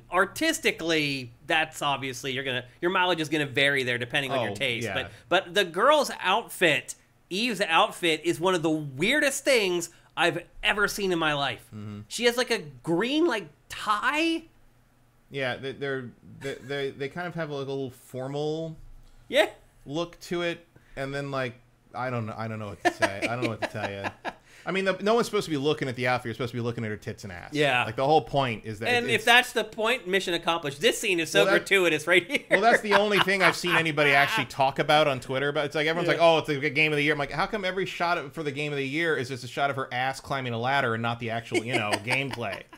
Well, there's her outfit. She's she's got a weird like necktie on. It's so bizarre. Well, there's a lot of like bondage signaling. in Yeah, this I guess. And they're all like kind of everybody's wearing these ridiculous heels. Yeah. Um, it's it's honestly embarrassing. It It's- kind it's of is. Really, I was glad really my silly. wife has been away for It- it Easter. makes me I was glad I played this while she was gone. It makes me think of like there was that little wave of Korean like RPGs on the PS2, like Mana, was it Mana Khemia? Or like you remember what I'm talking about? I Like, it was, remember like, what it was you're like very Mm-hmm. a, a very yellow color scheme, and she I think the main girl in that even had the little tie on too. Yeah. It's, it seems to be a thing, but they all had giant asses, like huge thick asses, and like that's basically what I'm getting from this. well, the, the, um, the asses in this are just shiny. Shiny. I mean, her it's pretty. I mean, she's scanned from the actual actress who plays A real her. person, yeah. um, which doesn't excuse what they're doing. I mean, I guess it's working because there's a certain audience that is feels very served by this. The other thing I oh Served. The other, the other thing I don't understand about this game is why there are no iframes in the dodges. yeah. Um, it's bizarre. Like, There's there's there's a bunch of combat stuff in this game that uh, but baffle me. Absolutely baffle me. The fact that there's no iframes in the dodge, which is not the only game that do that this way, but it's like that's why Dark Souls works. Mm-hmm. Yes. is because the iframe the yeah. iframes in in the roll. Yeah. Um, the fact that um, several of the things that make the combat system function are hit are locked behind skill tree stuff, and she starts with like a third of one of the skill trees unlocked. Just in this not the- demo, anyway. no, this is Yeah. the very beginning of the game. That's, you think this game will be that way? I think so. Yeah. Yeah. Um, you can Although I think this actually does carry over to the final game, the save in this for the demo. I hope so because I'd rather not play all this again. Agreed. Um, I don't want to fight a couple of the bosses again. They start, you know, there's a there's a dodge thing that it gets automatically unlocked after you've already been fighting the enemies that use the ability That you that need you need to use to Yeah. dodge the. And I'm, early I'm like, why are there no fucking iframes? I can't dodge this guy's attack. Turned out I had to go two rooms ahead, magically, you know, unlock the thing, and now I and now the dodge doesn't need iframes because when the guy flashes a blue attack, you just hit the button and she automatically does like a, almost a cutscene around him, and you Yeah. can stab him in the back automatically. And I'm like, it was well, hard for me to pull that off. I couldn't get the timing of that Oh, one. I thought that was the most like automatic brain dead. I, I was I was insulted by that. you mean the, the hold up and circle thing? Yeah. I can only get it to work like half the time. I thought that was insulting. Really? That- that- how easy that was. That was. I mean, not. I mean, the other thing I'll give you another. The other tip is the first thing you upgrade in this game when you get the skill points. Once it lets you, because it makes you upgrade. I think that one the first upgrade they make you pick a certain skill that is whatever. Yeah. But once you get the next time you get two more skill points, upgrade your parry to make it says I think it says like makes it easier to parry or something. Mm-hmm. There you go. Now Yeah. that now the combat works is you can do the parry whenever you want. Like you can get through the first boss just by parrying and can countering if you really need to. Yeah, I didn't find this game to be too difficult. um, It's not it's not super difficult. Um, it's just not particularly interesting either. Like the other the other thing I don't understand why there's no there's no uh, cancel and a jump. but uh, there is which cancel, There's cancel and a which I was surprised by. I I'm didn't not think because I'm it's standard for these games. You need that. a lot so- of games don't have it though. but not character action games. They always have that. Yeah. like that's how that works. And so the fact that you can cancel in a block is normal. cancel to a block and parry, I thought was But important. you have yeah. to, of course. But you also should be able to cancel in a jump. Yeah. And you can't. And it's bizarre to me. The other thing I don't understand is so the combos, like there's pretty combos are pretty simple early on. I assume that they open up because there's two more skill trees I think we haven't seen yet because Yeah. they're, they're not unlocked yet Yep. in, in the demo. Um, but there's like so there's the there's a, a light attack and there's heavy attack. You can do a light three light attacks and then combo into a, a heavy attack and I think another heavy attack. And then the other thing you can do is do four light attacks. That's another combo, but then Yep. you can't combo into a heavy attack from that. Yeah. The recovery from the fourth light attack in the four hit combo is almost as long as the recovery from the heavy attack, but it hasn't stunned or knocked back the enemy. So you're almost always going to get hit. So I cannot figure out for the life of me why that four hit combo exists in the game. Yeah. It's that kind of shit. And Yeah, maybe yeah. I'm just a fighting game nerd about that shit, but I don't understand why I'd ever use that fourth hit. Is that fourth hit just a trap in case I hit the button too many times? Is that a skill trap? I don't know what that is. I don't know what it. they're doing. I don't think it went that far. I mean, I'll say this, Matt. Like, I didn't have a lot of problems with the combat in this. Like, I don't have problems with like it. I the just don't understand the kind point of of of challenging. But I think the what I was getting at is that they've kind of nerfed the game so that it, that stuff doesn't matter that much. Um, which may piss off some people who are looking for that depth and that challenge. But as I was I talking mean, I about assume earlier, that it gets more later. Yeah. I mean, I feel like we've just seen the very beginning here, and I, there's enough skill tree left that I'm like, well, there must be something in Yeah. there, right? Um, there, like for for one thing, there's almost no aerial attacking in this. well, you can which do has to the death from above, Right, you but that's it. There's Do an no- assassination. There's, but there's no air combos. There's no air damage. No. There's no launching. There's no juggling, and no. that has to be in here. We've seen the videos. no, you're right. They do show some juggling. You're so right. that has to be what's in those other trees. Yeah, at least probably one of the trees must be air combo stuff Yeah. or something, right? Yeah. Um I don't know. I found this game to be entertaining, but also um, like offensive in some ways, like and embarrassing in some ways. It's embarrassing. It's it's like something you wouldn't want your family watching you play. Yeah, like I said, I was very happy that my wife was gone for um, Easter while I was playing this game because she definitely would have said something about it. There's Mm-hmm. Well, no it's also it. sad because like I certainly have friends that I would- like that would be impressed by the visual like quality in this game, but I'm not going to show it to them because Mm-hmm. Right. they'd be like, why the fuck is she dressed like that? Well, they're Like, gonna look at you like, "Why are you playing? Why are you this? playing this? I'm like- and that's when I lean real hard and like, oh, I do a show and I have to play it about the. yeah.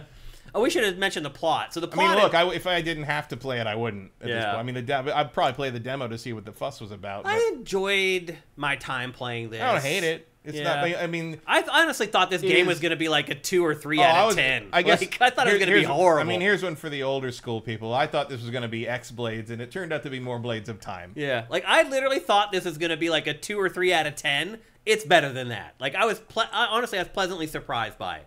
Um, the plot, I mean, the, you start out, you're in this ship coming to Earth, and like you're attacked, and then you get in the pods that go down. Half your squad's wiped out. Basically, you're trying to save Earth from a plague. You're, you're, I think you're returning to Earth after it's been taken over by a plague or lost for a long time. aliens or whatever. And you're coming. You're you're basically robot, hot robot girls coming back Yeah. to defeat the monsters that rule Earth now. Yeah. Um, and like, I don't know. Like it's it's it's that thing. It's like why are all the why are all the soldiers in this game hot women? And then you're rescued by this guy, Right. Who does not seem to be military. He's he's like a tech dude. Yeah, But and he, he- follows you in his little drone through the game. Yeah, and he, everybody seems to know that all the women are the ones who fight, and they're all they're, their their body frames, and they got to upgrade this thing, and like, and we're all the same squad, and they're all just like they're, all, Yeah. they're all just like girls in these ridiculous eight inch heels that are built into their own feet. Yeah. and they're and they're all getting massacred by these giant monsters that, that look like the most generic mutant things to come out of anything. Again, the art in this is bad. Yeah, the art is bad. The tech is great. The art is bad. Yeah. Um, and one of the main, one of the one of the key options you can choose is a short ponytail or a long ponytail. And everyone online seems to be picking the short ponytail, so the long ponytail won't block her ass. um, Oh, there is an extra layer to the combat we didn't talk about though, Matt. They're called the beta skills. Yeah. Um, basically, there's a gauge that you build up. Once it's full, you can essentially like cancel out enemy attacks. Mm. And so there's strategy in like choosing when to do that. And and eventually, you, there's a skill skill tree thing where you can eventually chain from one beta attack into the next beta attack, Yep. which is probably where the real key to doing the heavy damage comes in. Yep. Um, like I see the potential in there. It's just like, and like even if you leave aside the cheesecake nonsense and sort of all that shit, like these are some of those boring enemies to fight against I've run into in a while. Yeah. Um, maybe not as boring as the same samurai 14 yeah, they're not as bad as Rise of the Ronin. um, but in, I mean, in terms of kind of the horror, not the horror, but like the kind of the fantasy sci-fi hack and slash character action RPG stuff that's been coming around for the last however long, Mm-hmm. and it's just like you're fighting these nondescript. Can we just outlaw nondescript brown eyeless mutants from just games in general? Are, have we done this enough at this point? Like, look Yeah. at that guy. That guy could be from any game in the last 10, 15 years. yeah, Like yeah. in this game, it's also bizarre because like love or hate the fucking like don't you know porn is free on the internet now? Character designs of the good guys. Like it's at least like you can't mistake that character for anything else Yeah. right like you're looking she pops out of the screen not just because her ass is so huge but because like you know she looks different. She pops out. She's she's unique. You can tell her apart from all the other hot girl soldiers in the game i can't but the enemies aren't like that No. the enemies are all sort of just sort of this nondescript brown mutant gray Alien thing, thing, and it's just like it's weird that like that's one you know the one side is that and the one and the other side is like really identifiable Yeah. um, oh, and this was fun too, where there's like, oh, I guess you gotta get across them. I'm like, do you want me to jump down there? Do you want me to? Is there something I'm missing? And then you have to push. I feel like I This jimmied is- this part. Yeah, of the game. this is awful. like and is I this, don't understand. Is this how I was supposed yeah, to solve it? that's how you're supposed to do it. it, yeah, it, hundred it percent. felt like I was breaking the game. it, it felt like you were doing something weird. Yeah. yeah, like it, Why can you stand? None of it makes any No, know. sense. well, I mean, you're so you're seeing some of the traversal stuff. The traversal in this is not very good. Like No. the jumping, the climbing, they're swimming in this too, which actually does Yeah, feel good. swimming. But the rest of the clamoring The and swimming stuff, in Rise of the Ronin too. Yeah, that's true. Just never want to do it because it's gonna kill you. yeah, yeah. Um, so there's a lot of different stuff in this. Like now you're seeing um, there's these little camps that you can stop at, and that you can like that's where you adjust your skill points. There's a record player where you can play music. And the funny Mm-hmm. part about it is like these rest points are actually designed to rest. Like you go there and Yeah, you well, play music and you kick your feet up. Well, you remember like- they, they made a big point of that in the Yeah. fucking promo material. It's like you have a rest stop. You can sit in a beach chair. I'm just like, why are you telling me that there's a save point in this game?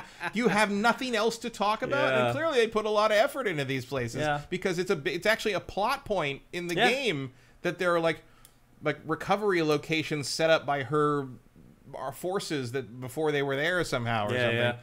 There- there's a lot of depth weird. to the combat in this. I'm like, who the fuck is bringing vending machines in an amphibious assault? Like that's not Yeah, a thing yeah. that anybody does. What I found about this is kind of a little bit like also like Rise of the Ronin was there's like all these options in combat. Like there's a system where if you like parry three attacks in a row or four attacks in a row, it like the enemy like shuts down. Like you get like a reversal, like a triangle button. You get a really strong hit on them. yeah, and then there's like um there's They, like they do have like a like a Sekiro style stamina thing with dots under them, and if, Yeah. you, if you counter enough of them, you get a, a big hit on them. yeah there's um, stuff like that, but you don't need it. It's kind of like Rise of the Ronin. There's all this stuff there, but like I assume later you will. Maybe But like the one boss at the don't. end, like you have to use the blink, for example. Like I Mm-hmm. didn't really use it that much in combat, but against that boss in particular, it's very effective. Yeah.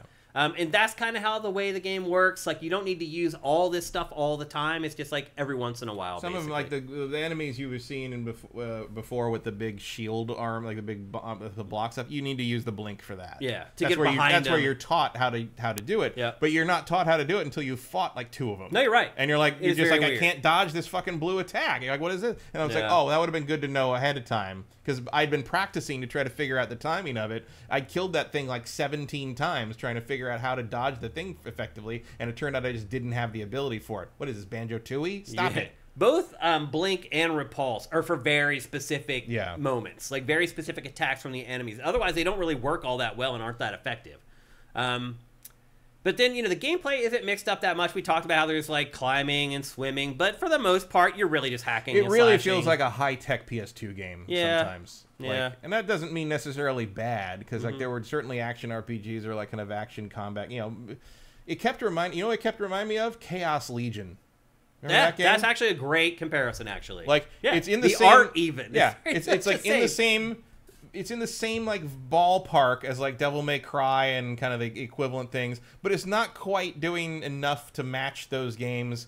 But it wants to, but also you're not sure what the fuck it's doing because it's so weird. Yeah. And like it's got a bunch of ideas in it, but you're like, wait, are those? Am I supposed to? Do, it's like it's it's really hard to describe. I really do encourage everyone to play the demo Yep, because the demo will tell you whether it's, it's for you or not. Yeah, for sure. Yeah, you get to taste pretty much all the different elements of the game, and you'll have a good idea of whether you like the combat or not.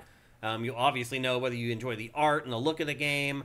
Um, I'll say this: I was pleasantly surprised by it because I thought it was going to be really bad, and it's No, a, it's it's, a com- it's a competent video is confident. game. I just, I, I do think like with all the talk of the inspirations and where it comes from, and you're talking about something that basically is, um, you know, in in, I think in the minds of the developers and the creators, I think it's it's basically descended from Devil May Cry, Bayonetta, um, and Nier Automata, and it's honestly kind of insulting to compare it to any of those. Games. Yeah, it's not as Um, good. The the gameplay is not as good as any of those. Yeah. like the combat is probably the closest to Nier but Nier makes it interesting by having like a fascinating world and a meta story to tell and like really kind of like unfolds itself as you go and this just is not Yeah. that so far maybe it's got like a really like mind-bending twist lane ahead but i somehow doubt it I'm intrigued by it. I, will, I am interested in playing the rest of it whenever it comes out to see what it does after this demo. The demo's about a little, I don't know, 40 minutes, 50 yeah minutes 40 long. an hour about an hour long Yeah, say. Um, but uh, to Matt's point, definitely I recommend everybody download this, give it a try. I think it will let you know whether you're into it or not. there's I- also qtes in it if that makes a difference to you yeah, very minor. Not very many but though. like I they, they caught me off guard a couple times. Yeah. Like, oh, you want me to hit that? Like, okay. Yeah. Um, so I guess it's the demo was auspicious for me because I really had low expectations for this game. I mean, it's definitely better than I thought. But like, Yeah. you've already you got like, I, I'll tell you what's going to happen here is it's going to come out and it's going to get like a Metacritic in the mid 70s, and I bet it does higher than that. I bet it's going to get Metacritic in the mid 70s, and it's gonna and everyone is going to lose their fucking minds that it didn't get nines Uh, because it's They gonna- think it's better than it's that. because it's got uh, tits and ass in it. Uh-huh. it. It's going to be the anti woke champion video game. That's what it's gonna. It already is that. yeah. You're gonna have all these fucking loud losers whining about how this is the, how games are supposed to be, and there's supposed to be escapism, and girls can be hot in escapism. And all I can say is, if I don't know, if you have to escape from reality to, To have see hot, hot- women to spend time with you, that's a you problem. Yeah, that is So, a you problem. Yeah. Skill issue. Yeah, that's funny. Um, so anyway, that's Stellar Blade. It is a PlayStation 5 exclusive. It is coming the 26th. Is that right? That was the 23rd. Is it? I might be wrong. My notes here. I thought I had it somewhere. Yeah, 26th. What's on the 23rd?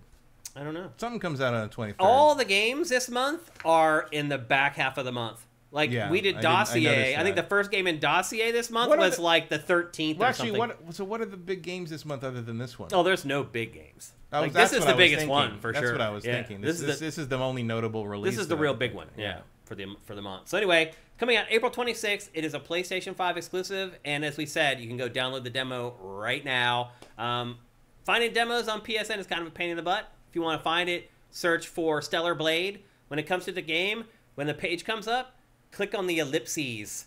And it'll bring up a thing for the demo, and that's how you download it. And that's how you download all demos on PSN. It's not the greatest system. Also, you, go to, if you go down to if you scroll down far enough on the PSN tab, or whatever you want to call it, there is a demo row, and sometimes you can. They're not always there though. uh, the de- one you're looking for, the, the newest It's ones so are not always there for some. It's so. I mean, that's the Sony inter, that's the PlayStation interface since PlayStation Three. It's so it's dumb. garbage. It Been really is garbage bad. for years and years and years. Yep. Vincent uh, says the 23rd is Eiyuden Chronicle 100 Heroes. That's what it was. Eiyuden Chronicle. Tales of Kenzera is That, out. those that, those are what I was thinking of. Yeah. because I'm actually looking forward to those games. Well, we're going to talk about one of them Mm-hmm. here in a minute. Um, so anyway, there you go. That's Stellar Blade, a PlayStation 5 exclusive. We'll be talking about it and have our final review of it here in just a couple weeks.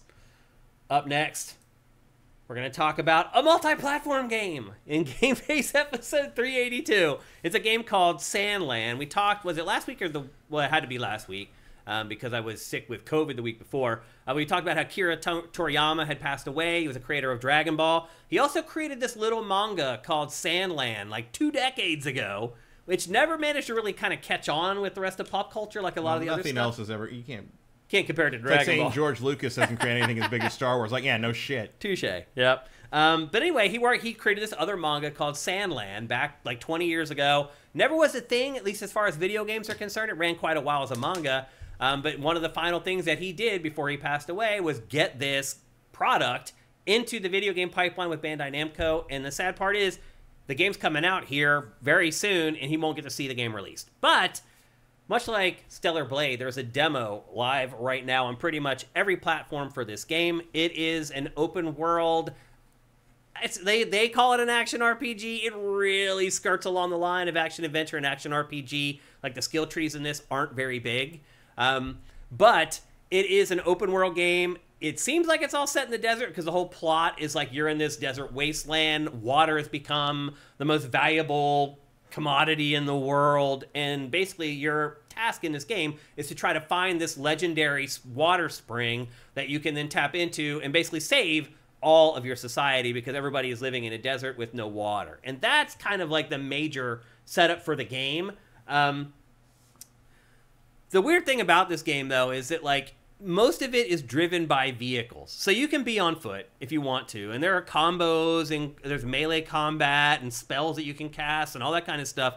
But the bulk of the combat in this game takes place in vehicles. And there's like a quick like select screen in this set up just for it so you can quickly swap to whatever vehicle you want. This demo only had three of the vehicles um, in it, and there are a lot more. Um, as you play through the game and go through the open world, there's these two dudes that follow you around in a golf cart. It's very strange, and they act as like co-op partners. They'll like buff you and give you like increases in your abilities and things like that, or give you special abilities. Um, I have not yet seen any point where they actively engage themselves into the combat, so I don't know if that eventually happens as you play. But you'll see in this trailer here that we're showing right now that it isn't all set in the sand. Eventually, they do get to like lush like environments that have trees and all the other kind of stuff. This early section does appear to be just that, just an early section of the game. It also is the setting for the demo, I would add, though. So in the demo, I said there's only three vehicles. There's a tank, there's a mech, which they call battle armor, and then there's like a motorcycle sort of styled vehicle that you can use to get around. And obviously, it's the fastest way to get around the environment. The uh, the mech has like really good melee punching mechanics and can take like deal huge damage with its fists. It also has like a machine gun. Uh, the tank that you use has a variety of different weapons, and every vehicle has a special. So the tank has this awesome, and you'll see it here in the B-roll in a minute, has this awesome like volley that it fires of missiles that automatically lock on and take down a bunch of different enemies. The motorcycle has like a little drone that pops up that will shoot alongside you. Um, and obviously, it can't take as much damage as a tank can. And then, as I said, the mech has really great melee stuff. It also has a really awesome like uh, shoulder cannon that you can use as well. So the vehicles are versatile and, and, and can be used in a variety of situations. Most important thing though is that a big part of the game is building up your vehicle. So there's a garage. Eventually, you get like a hub that you can build. And the crazy part about this is this, this is also like a city builder, Matt. Like not just like you build this little hamlet or whatever. You literally build like a city. It's a little bit like a Dark Cloud. you remember that yeah. RPG for PS2? Um, in that while you're playing this RPG, you're gathering resources and things that you take back to your base and you can build up this massive city where that basically you can go back to and refill your health and things like that. There's also a garage there. Um, run by this girl Anne, and she will help you build brand new vehicles. Will help you upgrade your existing vehicles. Even in this demo, there are tons and tons of vehicle parts for your vehicle. So if you download the demo and play it, go and look at all the parts that are already in this and like you can completely change how pretty much every vehicle in the game plays which i thought was pretty cool and not something that you get in a lot of games i mean let's be honest there aren't a whole lot of open world games where the focus is on vehicles in the first place um, as I said, you can also fight with your fists. You can cast magic spells. Um, your lead character also does like crazy like wrestling moves, like spinning suplexes and pile drivers and things like that. Um, there's a light attack and there's a heavy attack, and you can chain them both in the air and the ground. This game does have juggles and things like that. Um, you can also dodge in four different directions, but this game is not like a Dark Souls like, where any enemy that you come across can totally kill you. Um, it's a pretty mellow experience overall. Um, what else is there? Um, as I said, everyone in your party has a very small skill tree. Again, Bandai Namco is calling this an action RPG. That stuff is very slight. Like the skill trees in this are not very big. Um, and then there's some gameplay variety eventually. Like you build vehicles and you can like test them in races. There's bounty hunts. There's battle arenas that you can eventually find inside the game. Um, as I said, water is the most important thing in this game's world. Um, so when you go back to your base, you can drink some water and replenish it. Um, it is again the most valuable resource that you're going to find in the game. Um, if you die, you go back to your camp and you can just replenish on the water there and then jump in any vehicle. As I said, there's a quick select for the vehicles in this, a radio menu that you can, you saw it in some of the B roll earlier, that you can select at any time to choose whatever vehicle you want. I think eventually you will be able to have eight at a time at your at your beck and call. But in again in the demo there were only three. Here's some of the parts I was talking about in the B-roll, you can see like a big part of the game is building up these vehicles and turning them into killing machines. Um, as I said, their skill trees. They're not very big, and everybody in your party has a small skill tree as well. And as I said, they act as like support when you're out in the field. So you can also improve their abilities. So you improve their abilities to help you out in the field as well, although you never take active control over any of the people that are in your party in the game. So anyway, as I said, they do mix up the gameplay a little bit. There's racing, there's these bounty hunts, there's battle arenas you can do, but really the vast majority of this game is just going out into the open world, driving around with your vehicles. The demo doesn't have waypoints or like mission objectives, so you just kind of cruise around. Like I ended up finding a couple different bosses to fight and things like that. There is, I wouldn't call it emergent in the style of like Dragon's Dogma 2, where like crazy stuff just happens, but you do stumble across just random stuff out in the wasteland um, that you can interact with and do different stuff with. So um, this is another game that I had really low expectations for. Everything I'd seen around this game was not encouraging. In fact, some of the previews that had come out for this like a couple weeks ago were very discouraging. Um, and so I expected hardly anything from this. And look, so far what I've played of this, it's not great, but it's it's also not terrible. Um, It's certainly unique. yeah, there's no other game like it. Like I don't even can't think of an open world game that's like vehicle driven like this one is. Mad Max, but that was Oh what- yeah, I totally what, forgot about that 10 one. Years ago. Yeah, yeah. I guess that was like a decade ago now. Um, this game, this game has come into everything. Um, and so, and uh, Rigor Mortis says the visuals are pretty nice. Again, total art style, all from Akira Toriyama. Like you can see it; it's clear as day. He has his own art style. It really is a shame that he won't get to see this like come to fruition after you know 20 years of the manga being out there. Him finally getting somebody to work on it with him, and him getting it up and going, and so close to it releasing, but he just didn't make it. So it's really a shame. Um, it will be interesting to see how people evaluate this game if they can leave their emotions out of it. Because it'll be hard to pan this game. Oh, I, I won't have a problem. I mean, we won't. We're game faced. Like, we're I- brutally I, honest. don't. I don't actually like Akira Toriyama's art very much. It's, well, I'll say one thing, Matt. It's very distinctive. Like, Oh, as no, soon you as you see it. it, you know. You always know it when you see it. yeah, for sure. And whether you like it or not, that's again a matter of taste. But um, I was pleasantly surprised by this game. It had a lot more depth than I thought it was going to have. Again, I I think calling it an action RPG is a little bit of a stretch. Um, but it does have RPG elements in it. It really is more about the vehicles, building out the vehicles, creating vehicles uh, based upon the objectives that the game gives you. Because again, as you saw in some of the B-roll there, you can really turn these vehicles in almost anything that you want that will work on almost anything. So, um, so here's some emergent stuff. Like here, I was just driving around. Oh, look, there's a gigantic scorpion. It just turns into a boss fight that happens out in the middle of nowhere. Like there's another part where I came across like this radio tower and a bunch of robots that were under the tower started coming and attacking me and literally they wiped me out with like these crazy laser beams in like two seconds so there is a little bit of like oh i just stumbled ac- across this thing that's happening out in the open world in this game and again it is very unique you're not going to find another action rpg that's all driven by vehicles at least they aren't very prevalent anymore so again, much like Stellar Blade, I was pleasantly surprised by this game. Again, it is coming to every platform, even Switch. And this game also comes out on the same day as Stellar Blade. It comes out on the 26th. Um, obviously, a completely different flavor. The other thing I would say too is that this game, I think kids probably will be able to handle this. Like, I think this is probably a good, like, my first open world game for kids. So far, the content in it, I haven't seen anything that I would be like, eh, I wouldn't want my kid to see that. Um, but it's also very simple, but it also has I the don't know. That mech is clearly naked. but it also has like the building stuff that the kids love. Like you can build your vehicles. You also construct this crazy city that you build from literally from like a hamlet. So I I have a, an idea that kids probably will like this. It'll be interesting to see what happens with this IP if like eventually there's a kids cartoon that comes out in the US because of this. Sometimes that synergy happens, sometimes it doesn't.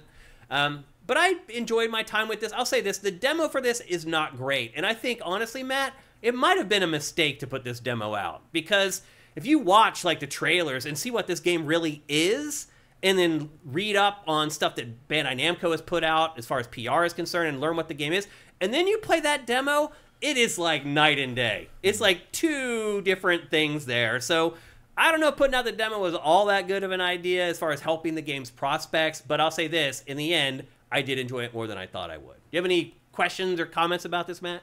Not really. No? Let's check chat and see if uh, they're saying anything about it. I think a lot of people just have probably. Oh, Rigor Morris UK says if my six year old daughter finished Pikmin 4 and all 11 five, level 5 Dandori challenges, I assume she would have no problem with this. No, not at all. Um, that This is child's play. Literally compared to the stuff that she's already played through. So yeah, um, you, you're totally fine. She will. I think she will like this game. And this, unlike some other games like Princess Peach, I talked about last week. I didn't think that adults would enjoy playing it with kids. I do think you might enjoy playing this with the younger ones in your family if you sat down. I think there's enough depth, there's enough um, layers to the combat that older players can get at least something, glean something out of this game as they sit down and play it with the younger ones in the family. So there you go. That is Sand Land. It is coming to everything on April 26th. With that, it's time to get on to our sneaker of the week for GameFace episode 382. But before we do that, here's a word from our sponsor, New York Sneaker Society. What's up, everyone? Shane here, and one thing you may not realize about me is that I am a total sneakerhead. That's right, I've been collecting Nike sneakers since the early 90s. My favorites are Air Max 95 and Air Max 97. Now, one thing that's different about me from your typical sneakerhead is that I actually wear the sneakers. And because of that, they can get dirty. And that is where New York Sneaker Society comes in. Using their advanced shoe cleaning products, I turned an old pair of Nikes that looked like this into this. With their cleaning products, your sneaker life can go from a year to five or more. I know that. I have shoes that are like 30 years old that I still wear because I've cleaned them. You can also lower your carbon footprint, haha, by keeping your kicks looking fresh. For my daily drivers, I also appreciate New York Sneaker Society's Refresh Spray to keep them smelling great and staying crisp. Head to nysneakersociety.co slash siftd to clean your shoes like a pro at home and get 10% off your order. That's right, that's nysneakersociety.co slash siftd for 10% off. So now, I, I got the big kit from your Sneaker Society, and now I've gone back and I have cleaned up all my shoes. Every last pair of shoes that I had in my closet, I've revived them and now I can wear them again. And one thing that I've found now that I've really restored all my shoes the thing that I use the most are these sneaker wipes, and they come in this little box, and they're just this this container of these wipes that you can pull out. And what I do, and I'll pull my shoe off just to show you. So this shoe in particular, it has like black sole, but then it has like the tan on the bottom. Well, that tan section here, get it on camera. This tan section here, it gets really dirty and dusty. And there's these wipes, you can just pull the wipe out, and all I do is just wipe the tan and they look brand new. And it takes like a couple minutes to do. Again, as I've had these kits, I've started to discover stuff that I use more as I've gone back and really cleaned through my shoes. So make sure you use the URL nysneakersociety.co slash siftd. It's very important that you use that URL because if you do, you will get 15% off your entire order. Um, the big kits that they sent me to try out, they're amazing. I literally revived like 15 pairs of shoes, not exaggerating. I've got 15 new pairs of shoes that I will wear now, but still I have all that other stuff. But you can buy the smaller kits that just really have the essentials in it for like 15 bucks. And if you use that 15% off, you can get it pretty cheap and then you can rule the school just like I am with all my old pairs of shoes like they're brand new again. So again, go to nysneakersociety.co slash siftd, order yourself some shoe cleaning stuff, and get 15% off. And as a big part of this, we have our sneaker of the week where we find a game that kind of was bubbling up on the website through the last week. And I will admit, I had to dig a little deep this week. It was kind of a slow week, but my pick for the sneaker of the week is Visions of Mana. It is the next in the Mana line from the Square Enix RPG franchise. Have you been a Mana fan in the past, Matt? I like them. I Yeah. mean, they haven't really been very prevalent, Yeah, I mean, it's what been like 10 years or something since the last one, maybe Yeah. longer. but I like this the Super Nintendo ones. the thing about this franchise is it was one of the first action RPGs. When a lot of RPGs, JRPGs were still turn-based. this is one of the first ones that went to a more action-based combat. Now, Well, the the, the more uh, the, the, like the more significant thing at the time was that you could play multiplayer. that's true. It Yeah. was, it was like co- couch co-op action RPG. Yeah, yeah. was not really a thing at the time. Yeah. Yep. And this is also an action RPG. It's not a turn-based RPG. Um, but there was a ton. Like Square Enix sent out a bunch of preview code. They didn't send it to us, but they sent out a bunch of preview code the last week. And so there's a big round of previews that went around for this. And I'll say this, Matt. They were extremely positive. Like almost every publication was kind of gushing over this game, and like they put out a bunch of new footage for the game to run with those previews. I'll be honest, some of the footage I looked at, I was like, really? You really thought this game was. The combat looks slow. In this game for some reason. It just looks like it's I don't know. I could be wrong. There's games I've watched before and then I play them and I'm like, oh, this actually feels great. Um, but I thought the combat looked a little bit disconnected. But as far as games that this week that were at a certain level of anticipation and excitement that went up a couple notches, there's no doubt that the winner this week is Visions of Mana. This game is coming to PC, PlayStation 5, and Xbox Series, although it looks like it could easily run on just about anything. Um, but those are the three platforms that it's coming to, um, and it is also coming pretty soon, so you don't have to wait too much longer. But it is our sneaker of the week for Game Face episode 382. When is that coming? Uh, like next month, I think. It's still a little ways away, but not too far. Um, and you'll probably on my team. it's on your team. Yeah, Was it a on the team or an alternate? it's on my team. Well, the that's good. Six or seven. The previews were very encouraging. Yeah, so I figured it would go well. yeah, so it's looking pretty good. So if you have that on your team, probably got it late, and it's probably going to pay off for you. Um, and then our last topic for episode 382, we're going to talk about another JRPG. This one is called Eiyuden Chronicle 100 Heroes. The reason I asked you why it was 100 Hero or Heroes was because I was actually confused on what on whether it was Eiyuden Chronicle or Eiyuden Chronicles. Yes, one chronicle, hundred heroes. Heroes, yeah. Um, and Matt, you actually got to play this because you were a backer. I haven't got to play this at all. Mm-hmm. The other thing too is that we don't have B-roll from the demo because there's No. none out there, and, they asked you asked everybody not to. And they followed it. Yeah. There is no footage of that demo mm-hmm. on YouTube, man. That's crazy. Suikoden fans don't don't snatch. Don't Isn't snitch. that isn't that crazy? Mm-hmm. So all I could do is just snitch or stitch together some trailers that they put out so far. So you're gonna have to watch that while Matt discusses it. But Matt is a backer of the game. He actually got early access to it, and now it's gonna pay off for all of you. So Matt, what's up with Eiyuden Chronicle 100 Heroes? Um, so this is the this is a Kickstarter from I think four years ago. Yeah. Um, it was uh, you know basically the the team that made Suikoden uh, coming back to make Suikoden again. Yeah. And, because uh, Konami won't. Yeah, and so the the upshot. So the this is not the beta. It was a backer beta they called it. It's basically about, a five hour first five hours Wow. of game. Um, That's cool. uh, unfortunately, I don't think the save's going to transfer because Ah. they are making some changes and upgrade. They, they took a lot of feedback, and there's going to be some fixes. I think it's going to be a little easier when it come when it comes out, which is too bad. Mm-hmm. So was it I- challenging? it was it was somewhat hard. Like, like early on, especially like the, so this first fight here where you fight these rabbit warriors, Mm-hmm. they all attack the main guy who's Noah, the guy the guy with the two swords in the bottom right corner, Mm-hmm. and they killed him in the first turn. Like it was just like bomb bomb bomb and he died. So I just reloaded the save. I'm like, well fuck you. Okay. um, that didn't really happen again. But like we're talking about like a hit from one of these from an enemy like will until you've like leveled up and gotten further in. Early on, it can take a third of your life off. Wow. Life of a character off, and you don't have a lot of healing opportunities. Dang. Um, so you gotta be, you better be on the ball. You better be on the ball with your circuit and like team balance work. Mm-hmm. Um, How does that work? How does the team balance work in it? um, well, you got you can have six people Mm-hmm. at once, uh, three in the front, three in the back. Uh, the three in the back are protected from melee attacks, but they can still be hit by magic or ranged. Can they also can they cast magic? They can cast magic and they can attack. Oh. Like they can attack normally. Usually you want to put magic and ranged people back there, but like you can see, Noah's back there with his two swords. Mm-hmm. Yeah. They can only but like so they can hit anywhere if they're ranged or magic, but someone in the back can only hit the front row. Okay. Um, even if like So there's a distance element yeah, a little it. bit of distance element there. It's not super important, Mm-hmm. but like basically you want to you do want to put your weaker, your squishier characters in the back. Yep.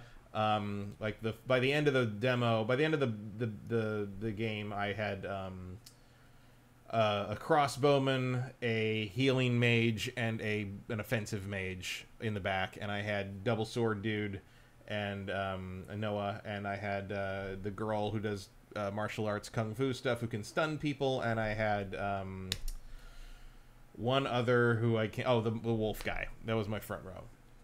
What And is the what's the plot of it? and the then game? you can also have uh, you, you don't know ha- i didn't get to it it wasn't available here but there are characters that do not function as frontline combat but they can be in support slots i think you have three support slots so support characters can go back and they will basically they're kind of like the assist characters in a marvel versus capcom game you can Okay. call them in to do whatever their Yep. ability is to help you out during the fight um, What's the plot? the plot is that there are basic it's very suikoden like it is suikoden in all but name Okay. um, the there are two uh, nations.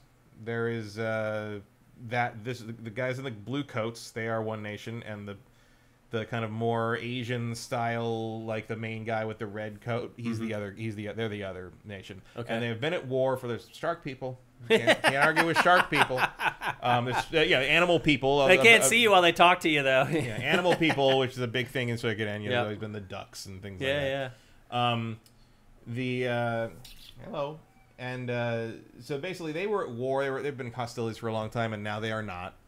And um, you're it opens with you. Uh, you're part of a town watch on this fairly small village, and you uh, but you're near a dig site. And if you've played the uh, the action RPG they put out of this from like like a year or two ago, Eiyuden Chronicle Rising or something? Something like that. Yeah. Um, there's a big emphasis in this world on digging into ancient ruins and finding what are called lenses, including uh, uh, they keep calling it the grand lens in this, but you can hear them call it in Japanese. You can hear them call it the mother lens, Okay. which are like mother load. It's a mother load pun, I think, is what they're after.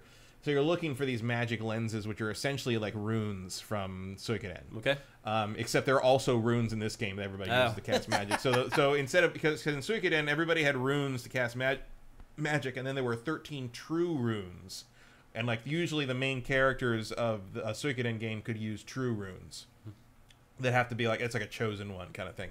So in this, the mother lenses or the ancient lenses are sort of the the, The chosen one equivalent. And you do you're going to fi- try to find one, and it's a joint operation between your watch group and the military people of the previously rival country in your territory. Mm-hmm. And so you're going with them to kind of guide them because you know the area better. And the person who found the thing got lost in the woods and don't, doesn't know where it is. So you go in and you get stuck in the dungeon basically with these guys.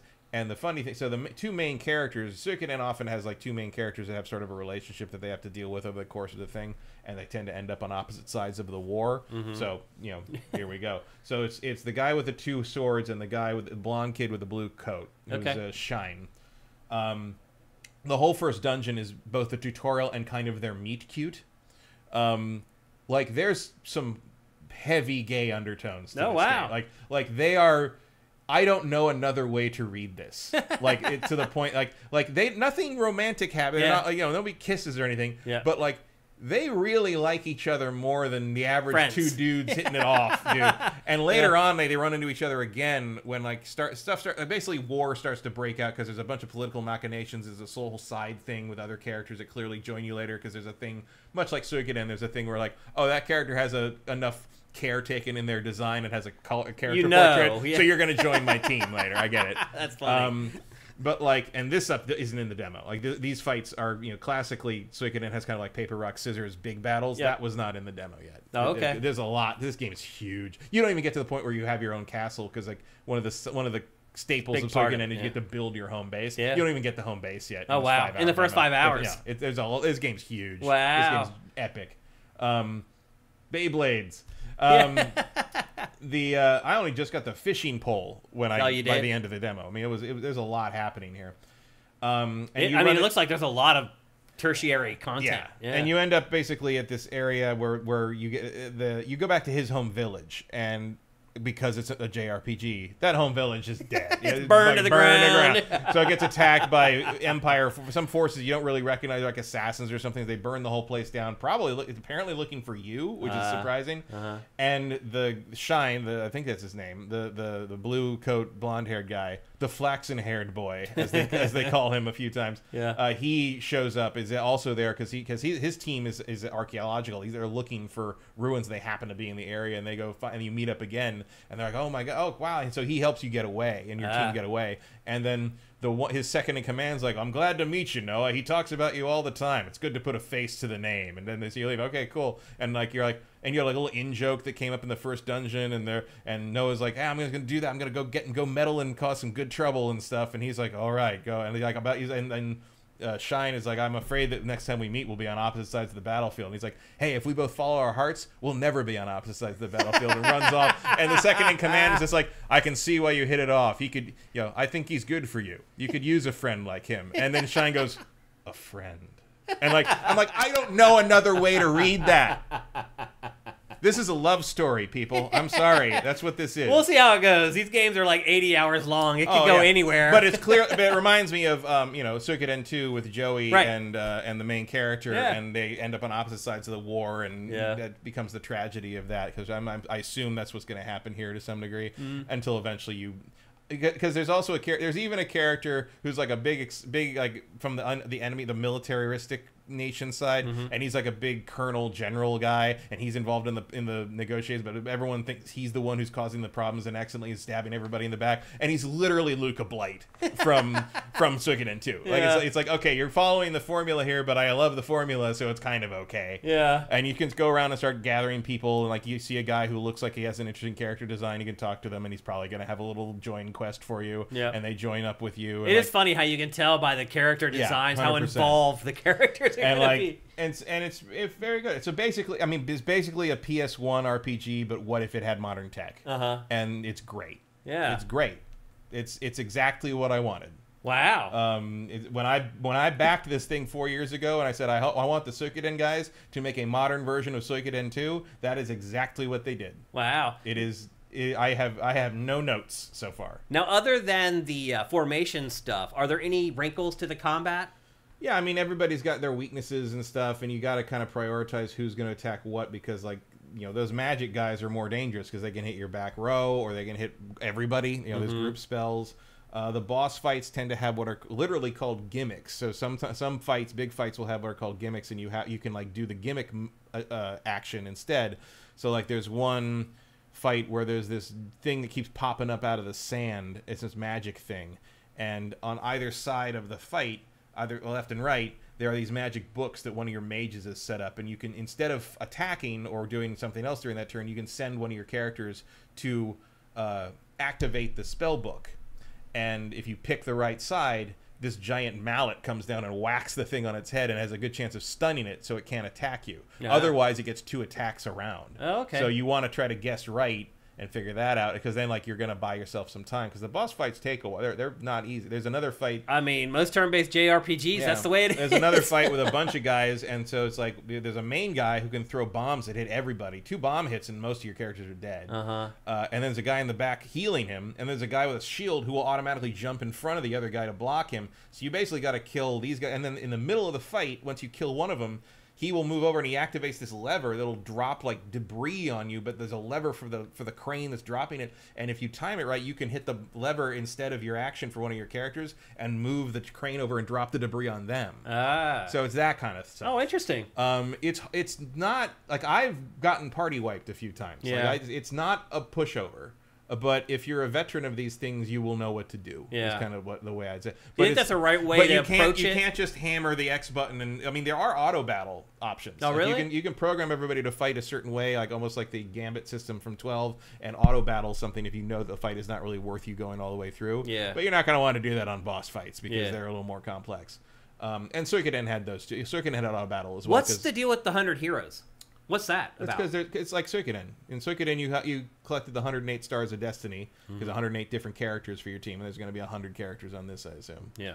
Um, and uh, and then Yeah, you have to collect. Don't you have to build like an army of 100? yeah, you build a whole army. Yeah. It's it's Suikoden. Every Yeah. Suikoden is that. Yeah, a And lot of people, Matt, that are watching this, listening to this, I've never played Suikoden. Well, if that fuck, those fucking remasters would come out, that might be Yeah. different. I'm just saying, it's been gone for so long, and yeah, I would imagine most people watching this show know what Suikoden is. yeah. Well, I don't know about all, but Maybe not Sneaky, but everybody else knows what, what Suikoden is. because he has like a 20 year period, it's Yeah. just blacked out. If you don't know what Suikoden is, go play Suikoden 2. It's one of the best games ever made. yeah, it really is that good. Or wait for this fucking remaster that's supposed to be out last year. Like, Yeah. If that ever comes out, go ahead and play that because Suikoden 2 is still one of the greatest things ever made. So how are you feeling about this? It's great. Seems like you're pretty It's great. excited for it. It works really well.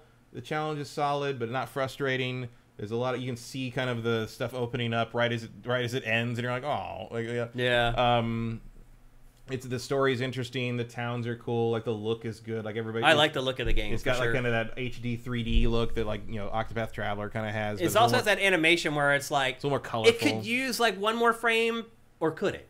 Yeah. Yeah. Yeah, it's just enough to leave your imagination Yeah. there. Yeah, it's a cool looking game for sure. It also has like a lot of 3D polygonal stuff in the game. Yeah, all, It the, all mixes the, environments the- are, are all 3D polygonal. The Yeah. characters are, are, are 2D sprites. Yeah, and it's it interesting works. how yeah in this game it works. And there's a couple other Square Enix games where it works really well, but not always. Mm. Um, but it does seem to work really well here. This game comes out on the 23rd, Yeah, and it is coming to everything, including Switch. Yeah. I, I imagine phones could run this. It's yeah. not- what what a what uh what platform did you play it on? PC? Yeah. I have the I have the um, the backing thing is coming in for. I have a PC copy and a and a PlayStation copy. I will play the. I will probably play the final game on PlayStation because that's where I played Rising, and that imports save stuff to change like.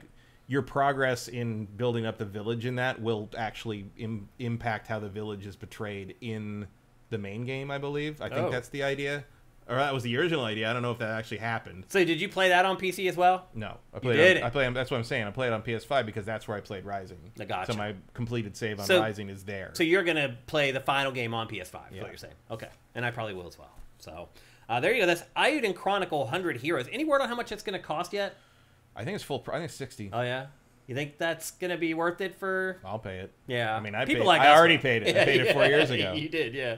You've been waiting for that investment to pay off for a while. Uh, but that is Eiyuden Chronicle 100 Heroes. I mean, the other thing about this game, this is like the Uh, Vincent says it's on Game Pass. Oh, it So is. There you go. This is like the dead developer or the d- dead person episode because also the guy who's working on this game Yeah, one of the key guys has here- passed here away, a and he's not going to see this game released. Mm-hmm. What an interesting coincidence that two games ended up on the same episode in the same. I boat. mean, they're. I mean, that generation is getting up there. I mean, we're getting to the point, Matt, where our heroes are starting Mm-hmm. to die. Like I, I, I, I wake up in cold sweats at night worrying about Miyamoto. I'm like, oh my god! Even though he doesn't really make games anymore, like. I don't know. It's like I feel like all this is coming, Matt. Like all our heroes are getting to that age. Like they're always a little older than us because we yeah. were the kids and they were the adults, and now we're getting up there and they're getting way up there. So, yeah, starting to see some of our heroes fade away here, which is uh, a little sobering. I mean, Toriyama was way too young for that. He Mhm. was wasn't old. Really. Yeah, he wasn't not by old. modern standards. Yeah, 68 or whatever. Yeah. Yeah. Modern science, you should not die that young. So there you go. That's Eiyuden Chronicle 100 Heroes coming to everything on April 23rd. We'll be talking about that, giving it its final review here in just a couple weeks It on it is fully voiced. It can- Every character's voiced? Uh, all the main characters are. As Okay. If the game stops to do like a cutscene of any kind, all the text is voiced. Okay. I Um, played it in Japanese. I don't know how the English voice acting is. Okay.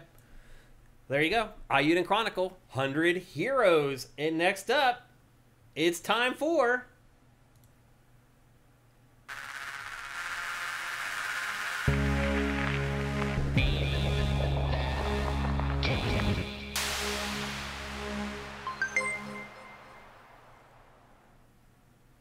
That's right. It's time for Name That Game Tune, brought to you by SoundWizardry.com. If you need any audio work done, whether you're working on a game, whether you're working on a YouTube video, whether you're working on anything where you need audio, go to SoundWizardry.com. They are great dudes and they are really skilled. They worked on several of the Game of the Year candidates from last year. Last time I tried to reach out to them, they were on location working on a game, which I found to be interesting. Um, that they're you know bringing Sound Wizardry out to work on games on location, which is really cool. They're great people. They're very skilled. Any kind of audio work you need done, go to SoundWizardry.com. I also forgot to note last week when we were talking about Outcast: A New Beginning that the music mixing in that game is one of the weirdest things I have ever heard because the music will just pop in for whatever's happening in the game at full blast. Oh, yeah. And then after the fight or the scene or the whatever's over, it will just stop. Nah, yeah, I remember. Could could have used some sound wizardry. Lots of games Uh, are like that, man. A lot of Japanese games are like that, where the audio, like, again, I turn off the music a lot. A lot of games use music to hide horrible sound design. Like, I'll say this, though, like, Rise of the Ronin sound design, really freaking good. Like, I turned down the music in that, and that game's alive. Um, voiceover's terrible, but the actual, like, Foley work and stuff, really good in that game. We don't talk about that stuff enough, I feel like, but I feel also feel like we live in like a soundbar age where mm-hmm. most people aren't like me and they don't have like the 5.1 or the 7.1. It feels like most people now are just happy with having like a Bluetooth sound bar underneath their TV and not getting the whole I surround mean, sound with what the surround stuff costs, I can't really blame. I don't, them. yeah, I don't blame them either. And so that's why I don't talk about it a ton. Because I know a lot of you guys don't have setups like I have. Every once in a while, if I play something where it's really impactful or I really notice it, then I'll bring it up. But usually I don't. So, but anyway, soundwizardry.com. They're the people who make that stuff sing. Go to soundwizardry.com if you have any audio needs. The other cool thing about Sound Wizardry is that they are supplying the prizes for Name That Game Tune. So if you win this game, you get a free PC game. Now that's important because if you do not play PC games or you don't have a friend who plays PC games, just don't play. Let somebody win the code that's actually going to use the code to play it. And again, I'm totally fine if you win it and you want to give it to a friend or your brother or anybody else that's going to use the code. It's yours to do whatever you want with it. Just make sure that either you're going to play it or somebody else is. A Couple other things before we get going. If you have won this year already, do not play. You can only win once every calendar year, and that's it. And then the final part of it is is that the chat goes into slow mode, which means that you can only put in one chat every 60 seconds. So don't just spam the chat with a bunch of random game titles trying to guess the name of the game. You're going to fail because of that. So make sure you pick your spots to chat and make your guesses. So here's how it works. I have 5 audio samples from a video game. You just try to guess the name of the game before Matt does. Matt has won recently. He's I think you're a little bit better at this than you were even at the visual one. So you guys got to be on your toes and pay attention. So let's get everything set up here for name that game. Matt's got the headphones. He's ready to go. Let me turn up the volume on your headphones, Matt, to make sure you can hear everything. Can you hear okay right now? Yeah, Those levels okay? a little, little more. A little more? Is that That's good? fine. Yeah. Okay. Okay, Matt's ready. Are you guys ready for Name That Game? Here comes the first sample in three, two, one. All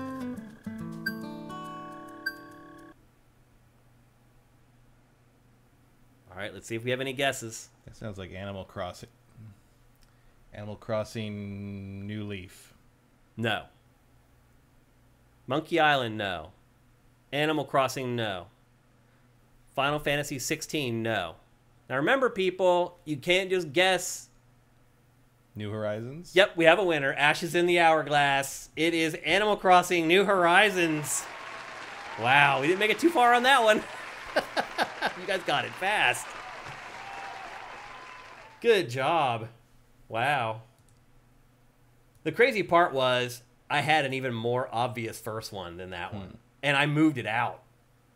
And something about that guitar sound quality that is just that's Animal Crossing. yeah, well, you got. I mean, you knew it. I knew I just didn't know which one. Yeah. Here's the other. Well, here's all the work that I did for nothing because you guys got it on the first one. Here's the second one.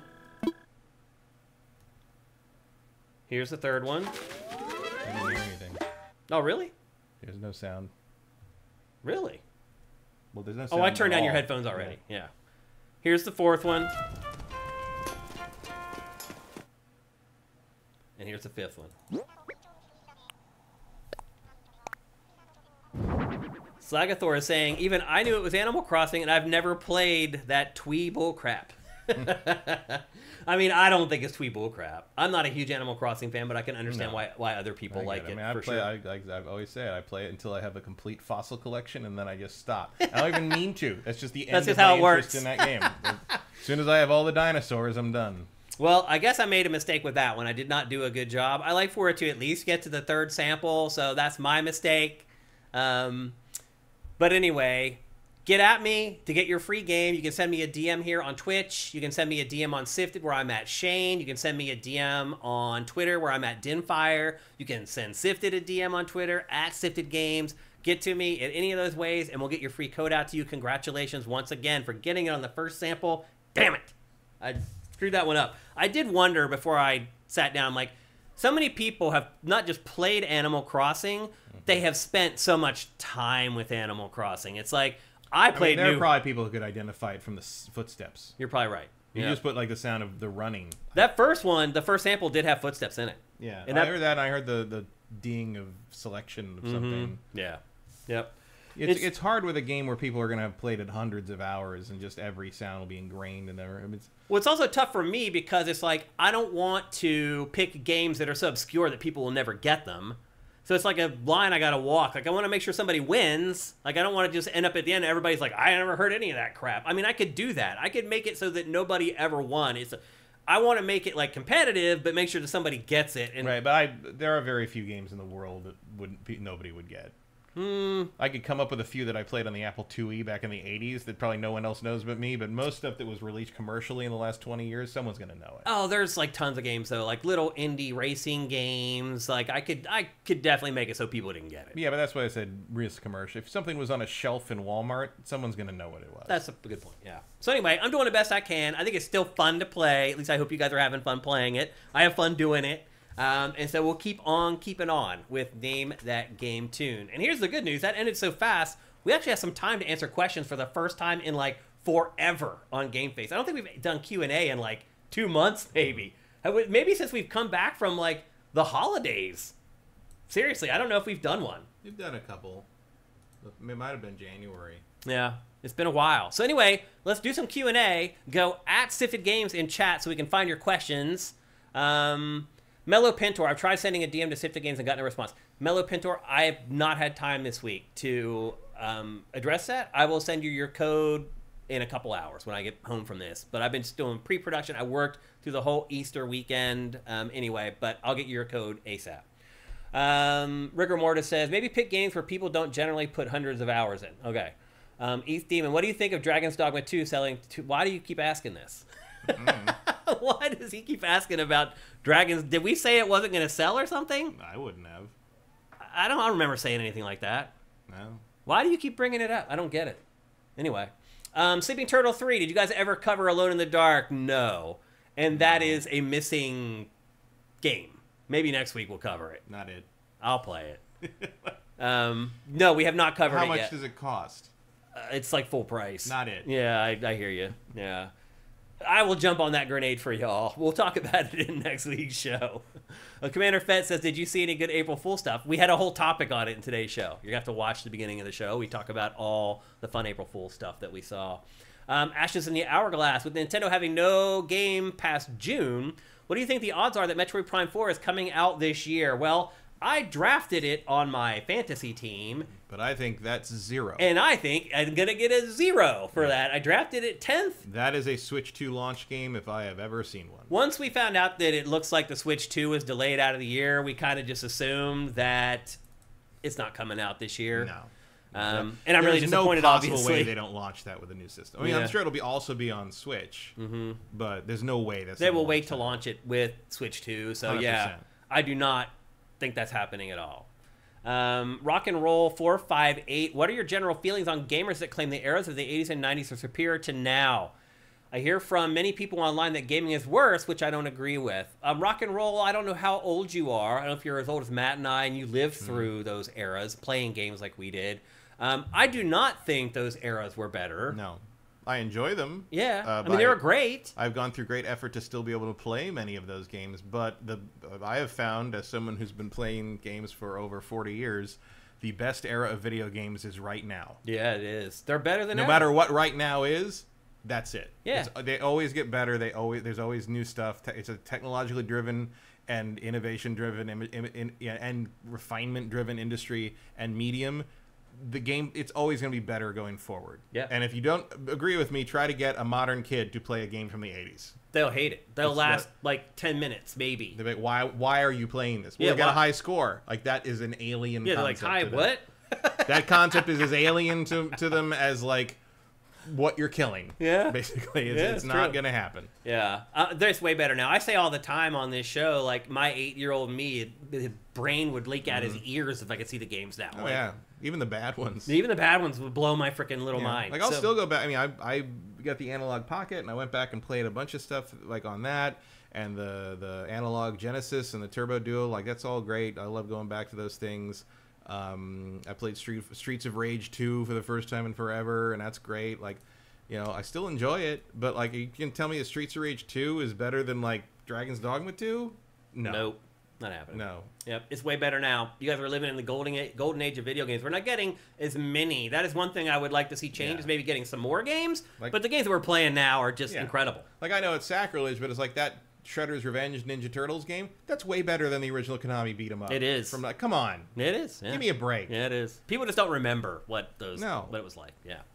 All right, we're gonna have to call it there. We've hit our time for GameFace episode 382. Thanks to everybody on chat for making the show better, fact checking us, asking great questions, playing name that game, all that stuff, giving us Twitch Prime. In fact, if you're watching this show on YouTube right now, go down below into the description, learn how to help us with Twitch Prime. If you're an Amazon Prime member, you can give us a free $2.50 a month for free for free. It costs you nothing. It makes a huge difference for us. Please do it if you can. We talk about it all the time. People do it live in our chat, and we always call people out, and we really appreciate it. If you do do that, you end up running along the bottom of Pachter Factor in a ticker. If you do that, you also get Pachter Factor a week early without having to be a part of our Patreon. Please do it if you can. And if you can't, if you want to help us permanently, please go to patreon.com slash siftd. That's where the bulk of our funding goes to keep this show and all our other shows going. You can pledge a dollar there a million dollars a month whatever you want but you only have to pledge four dollars a month to get all our content at least three days early.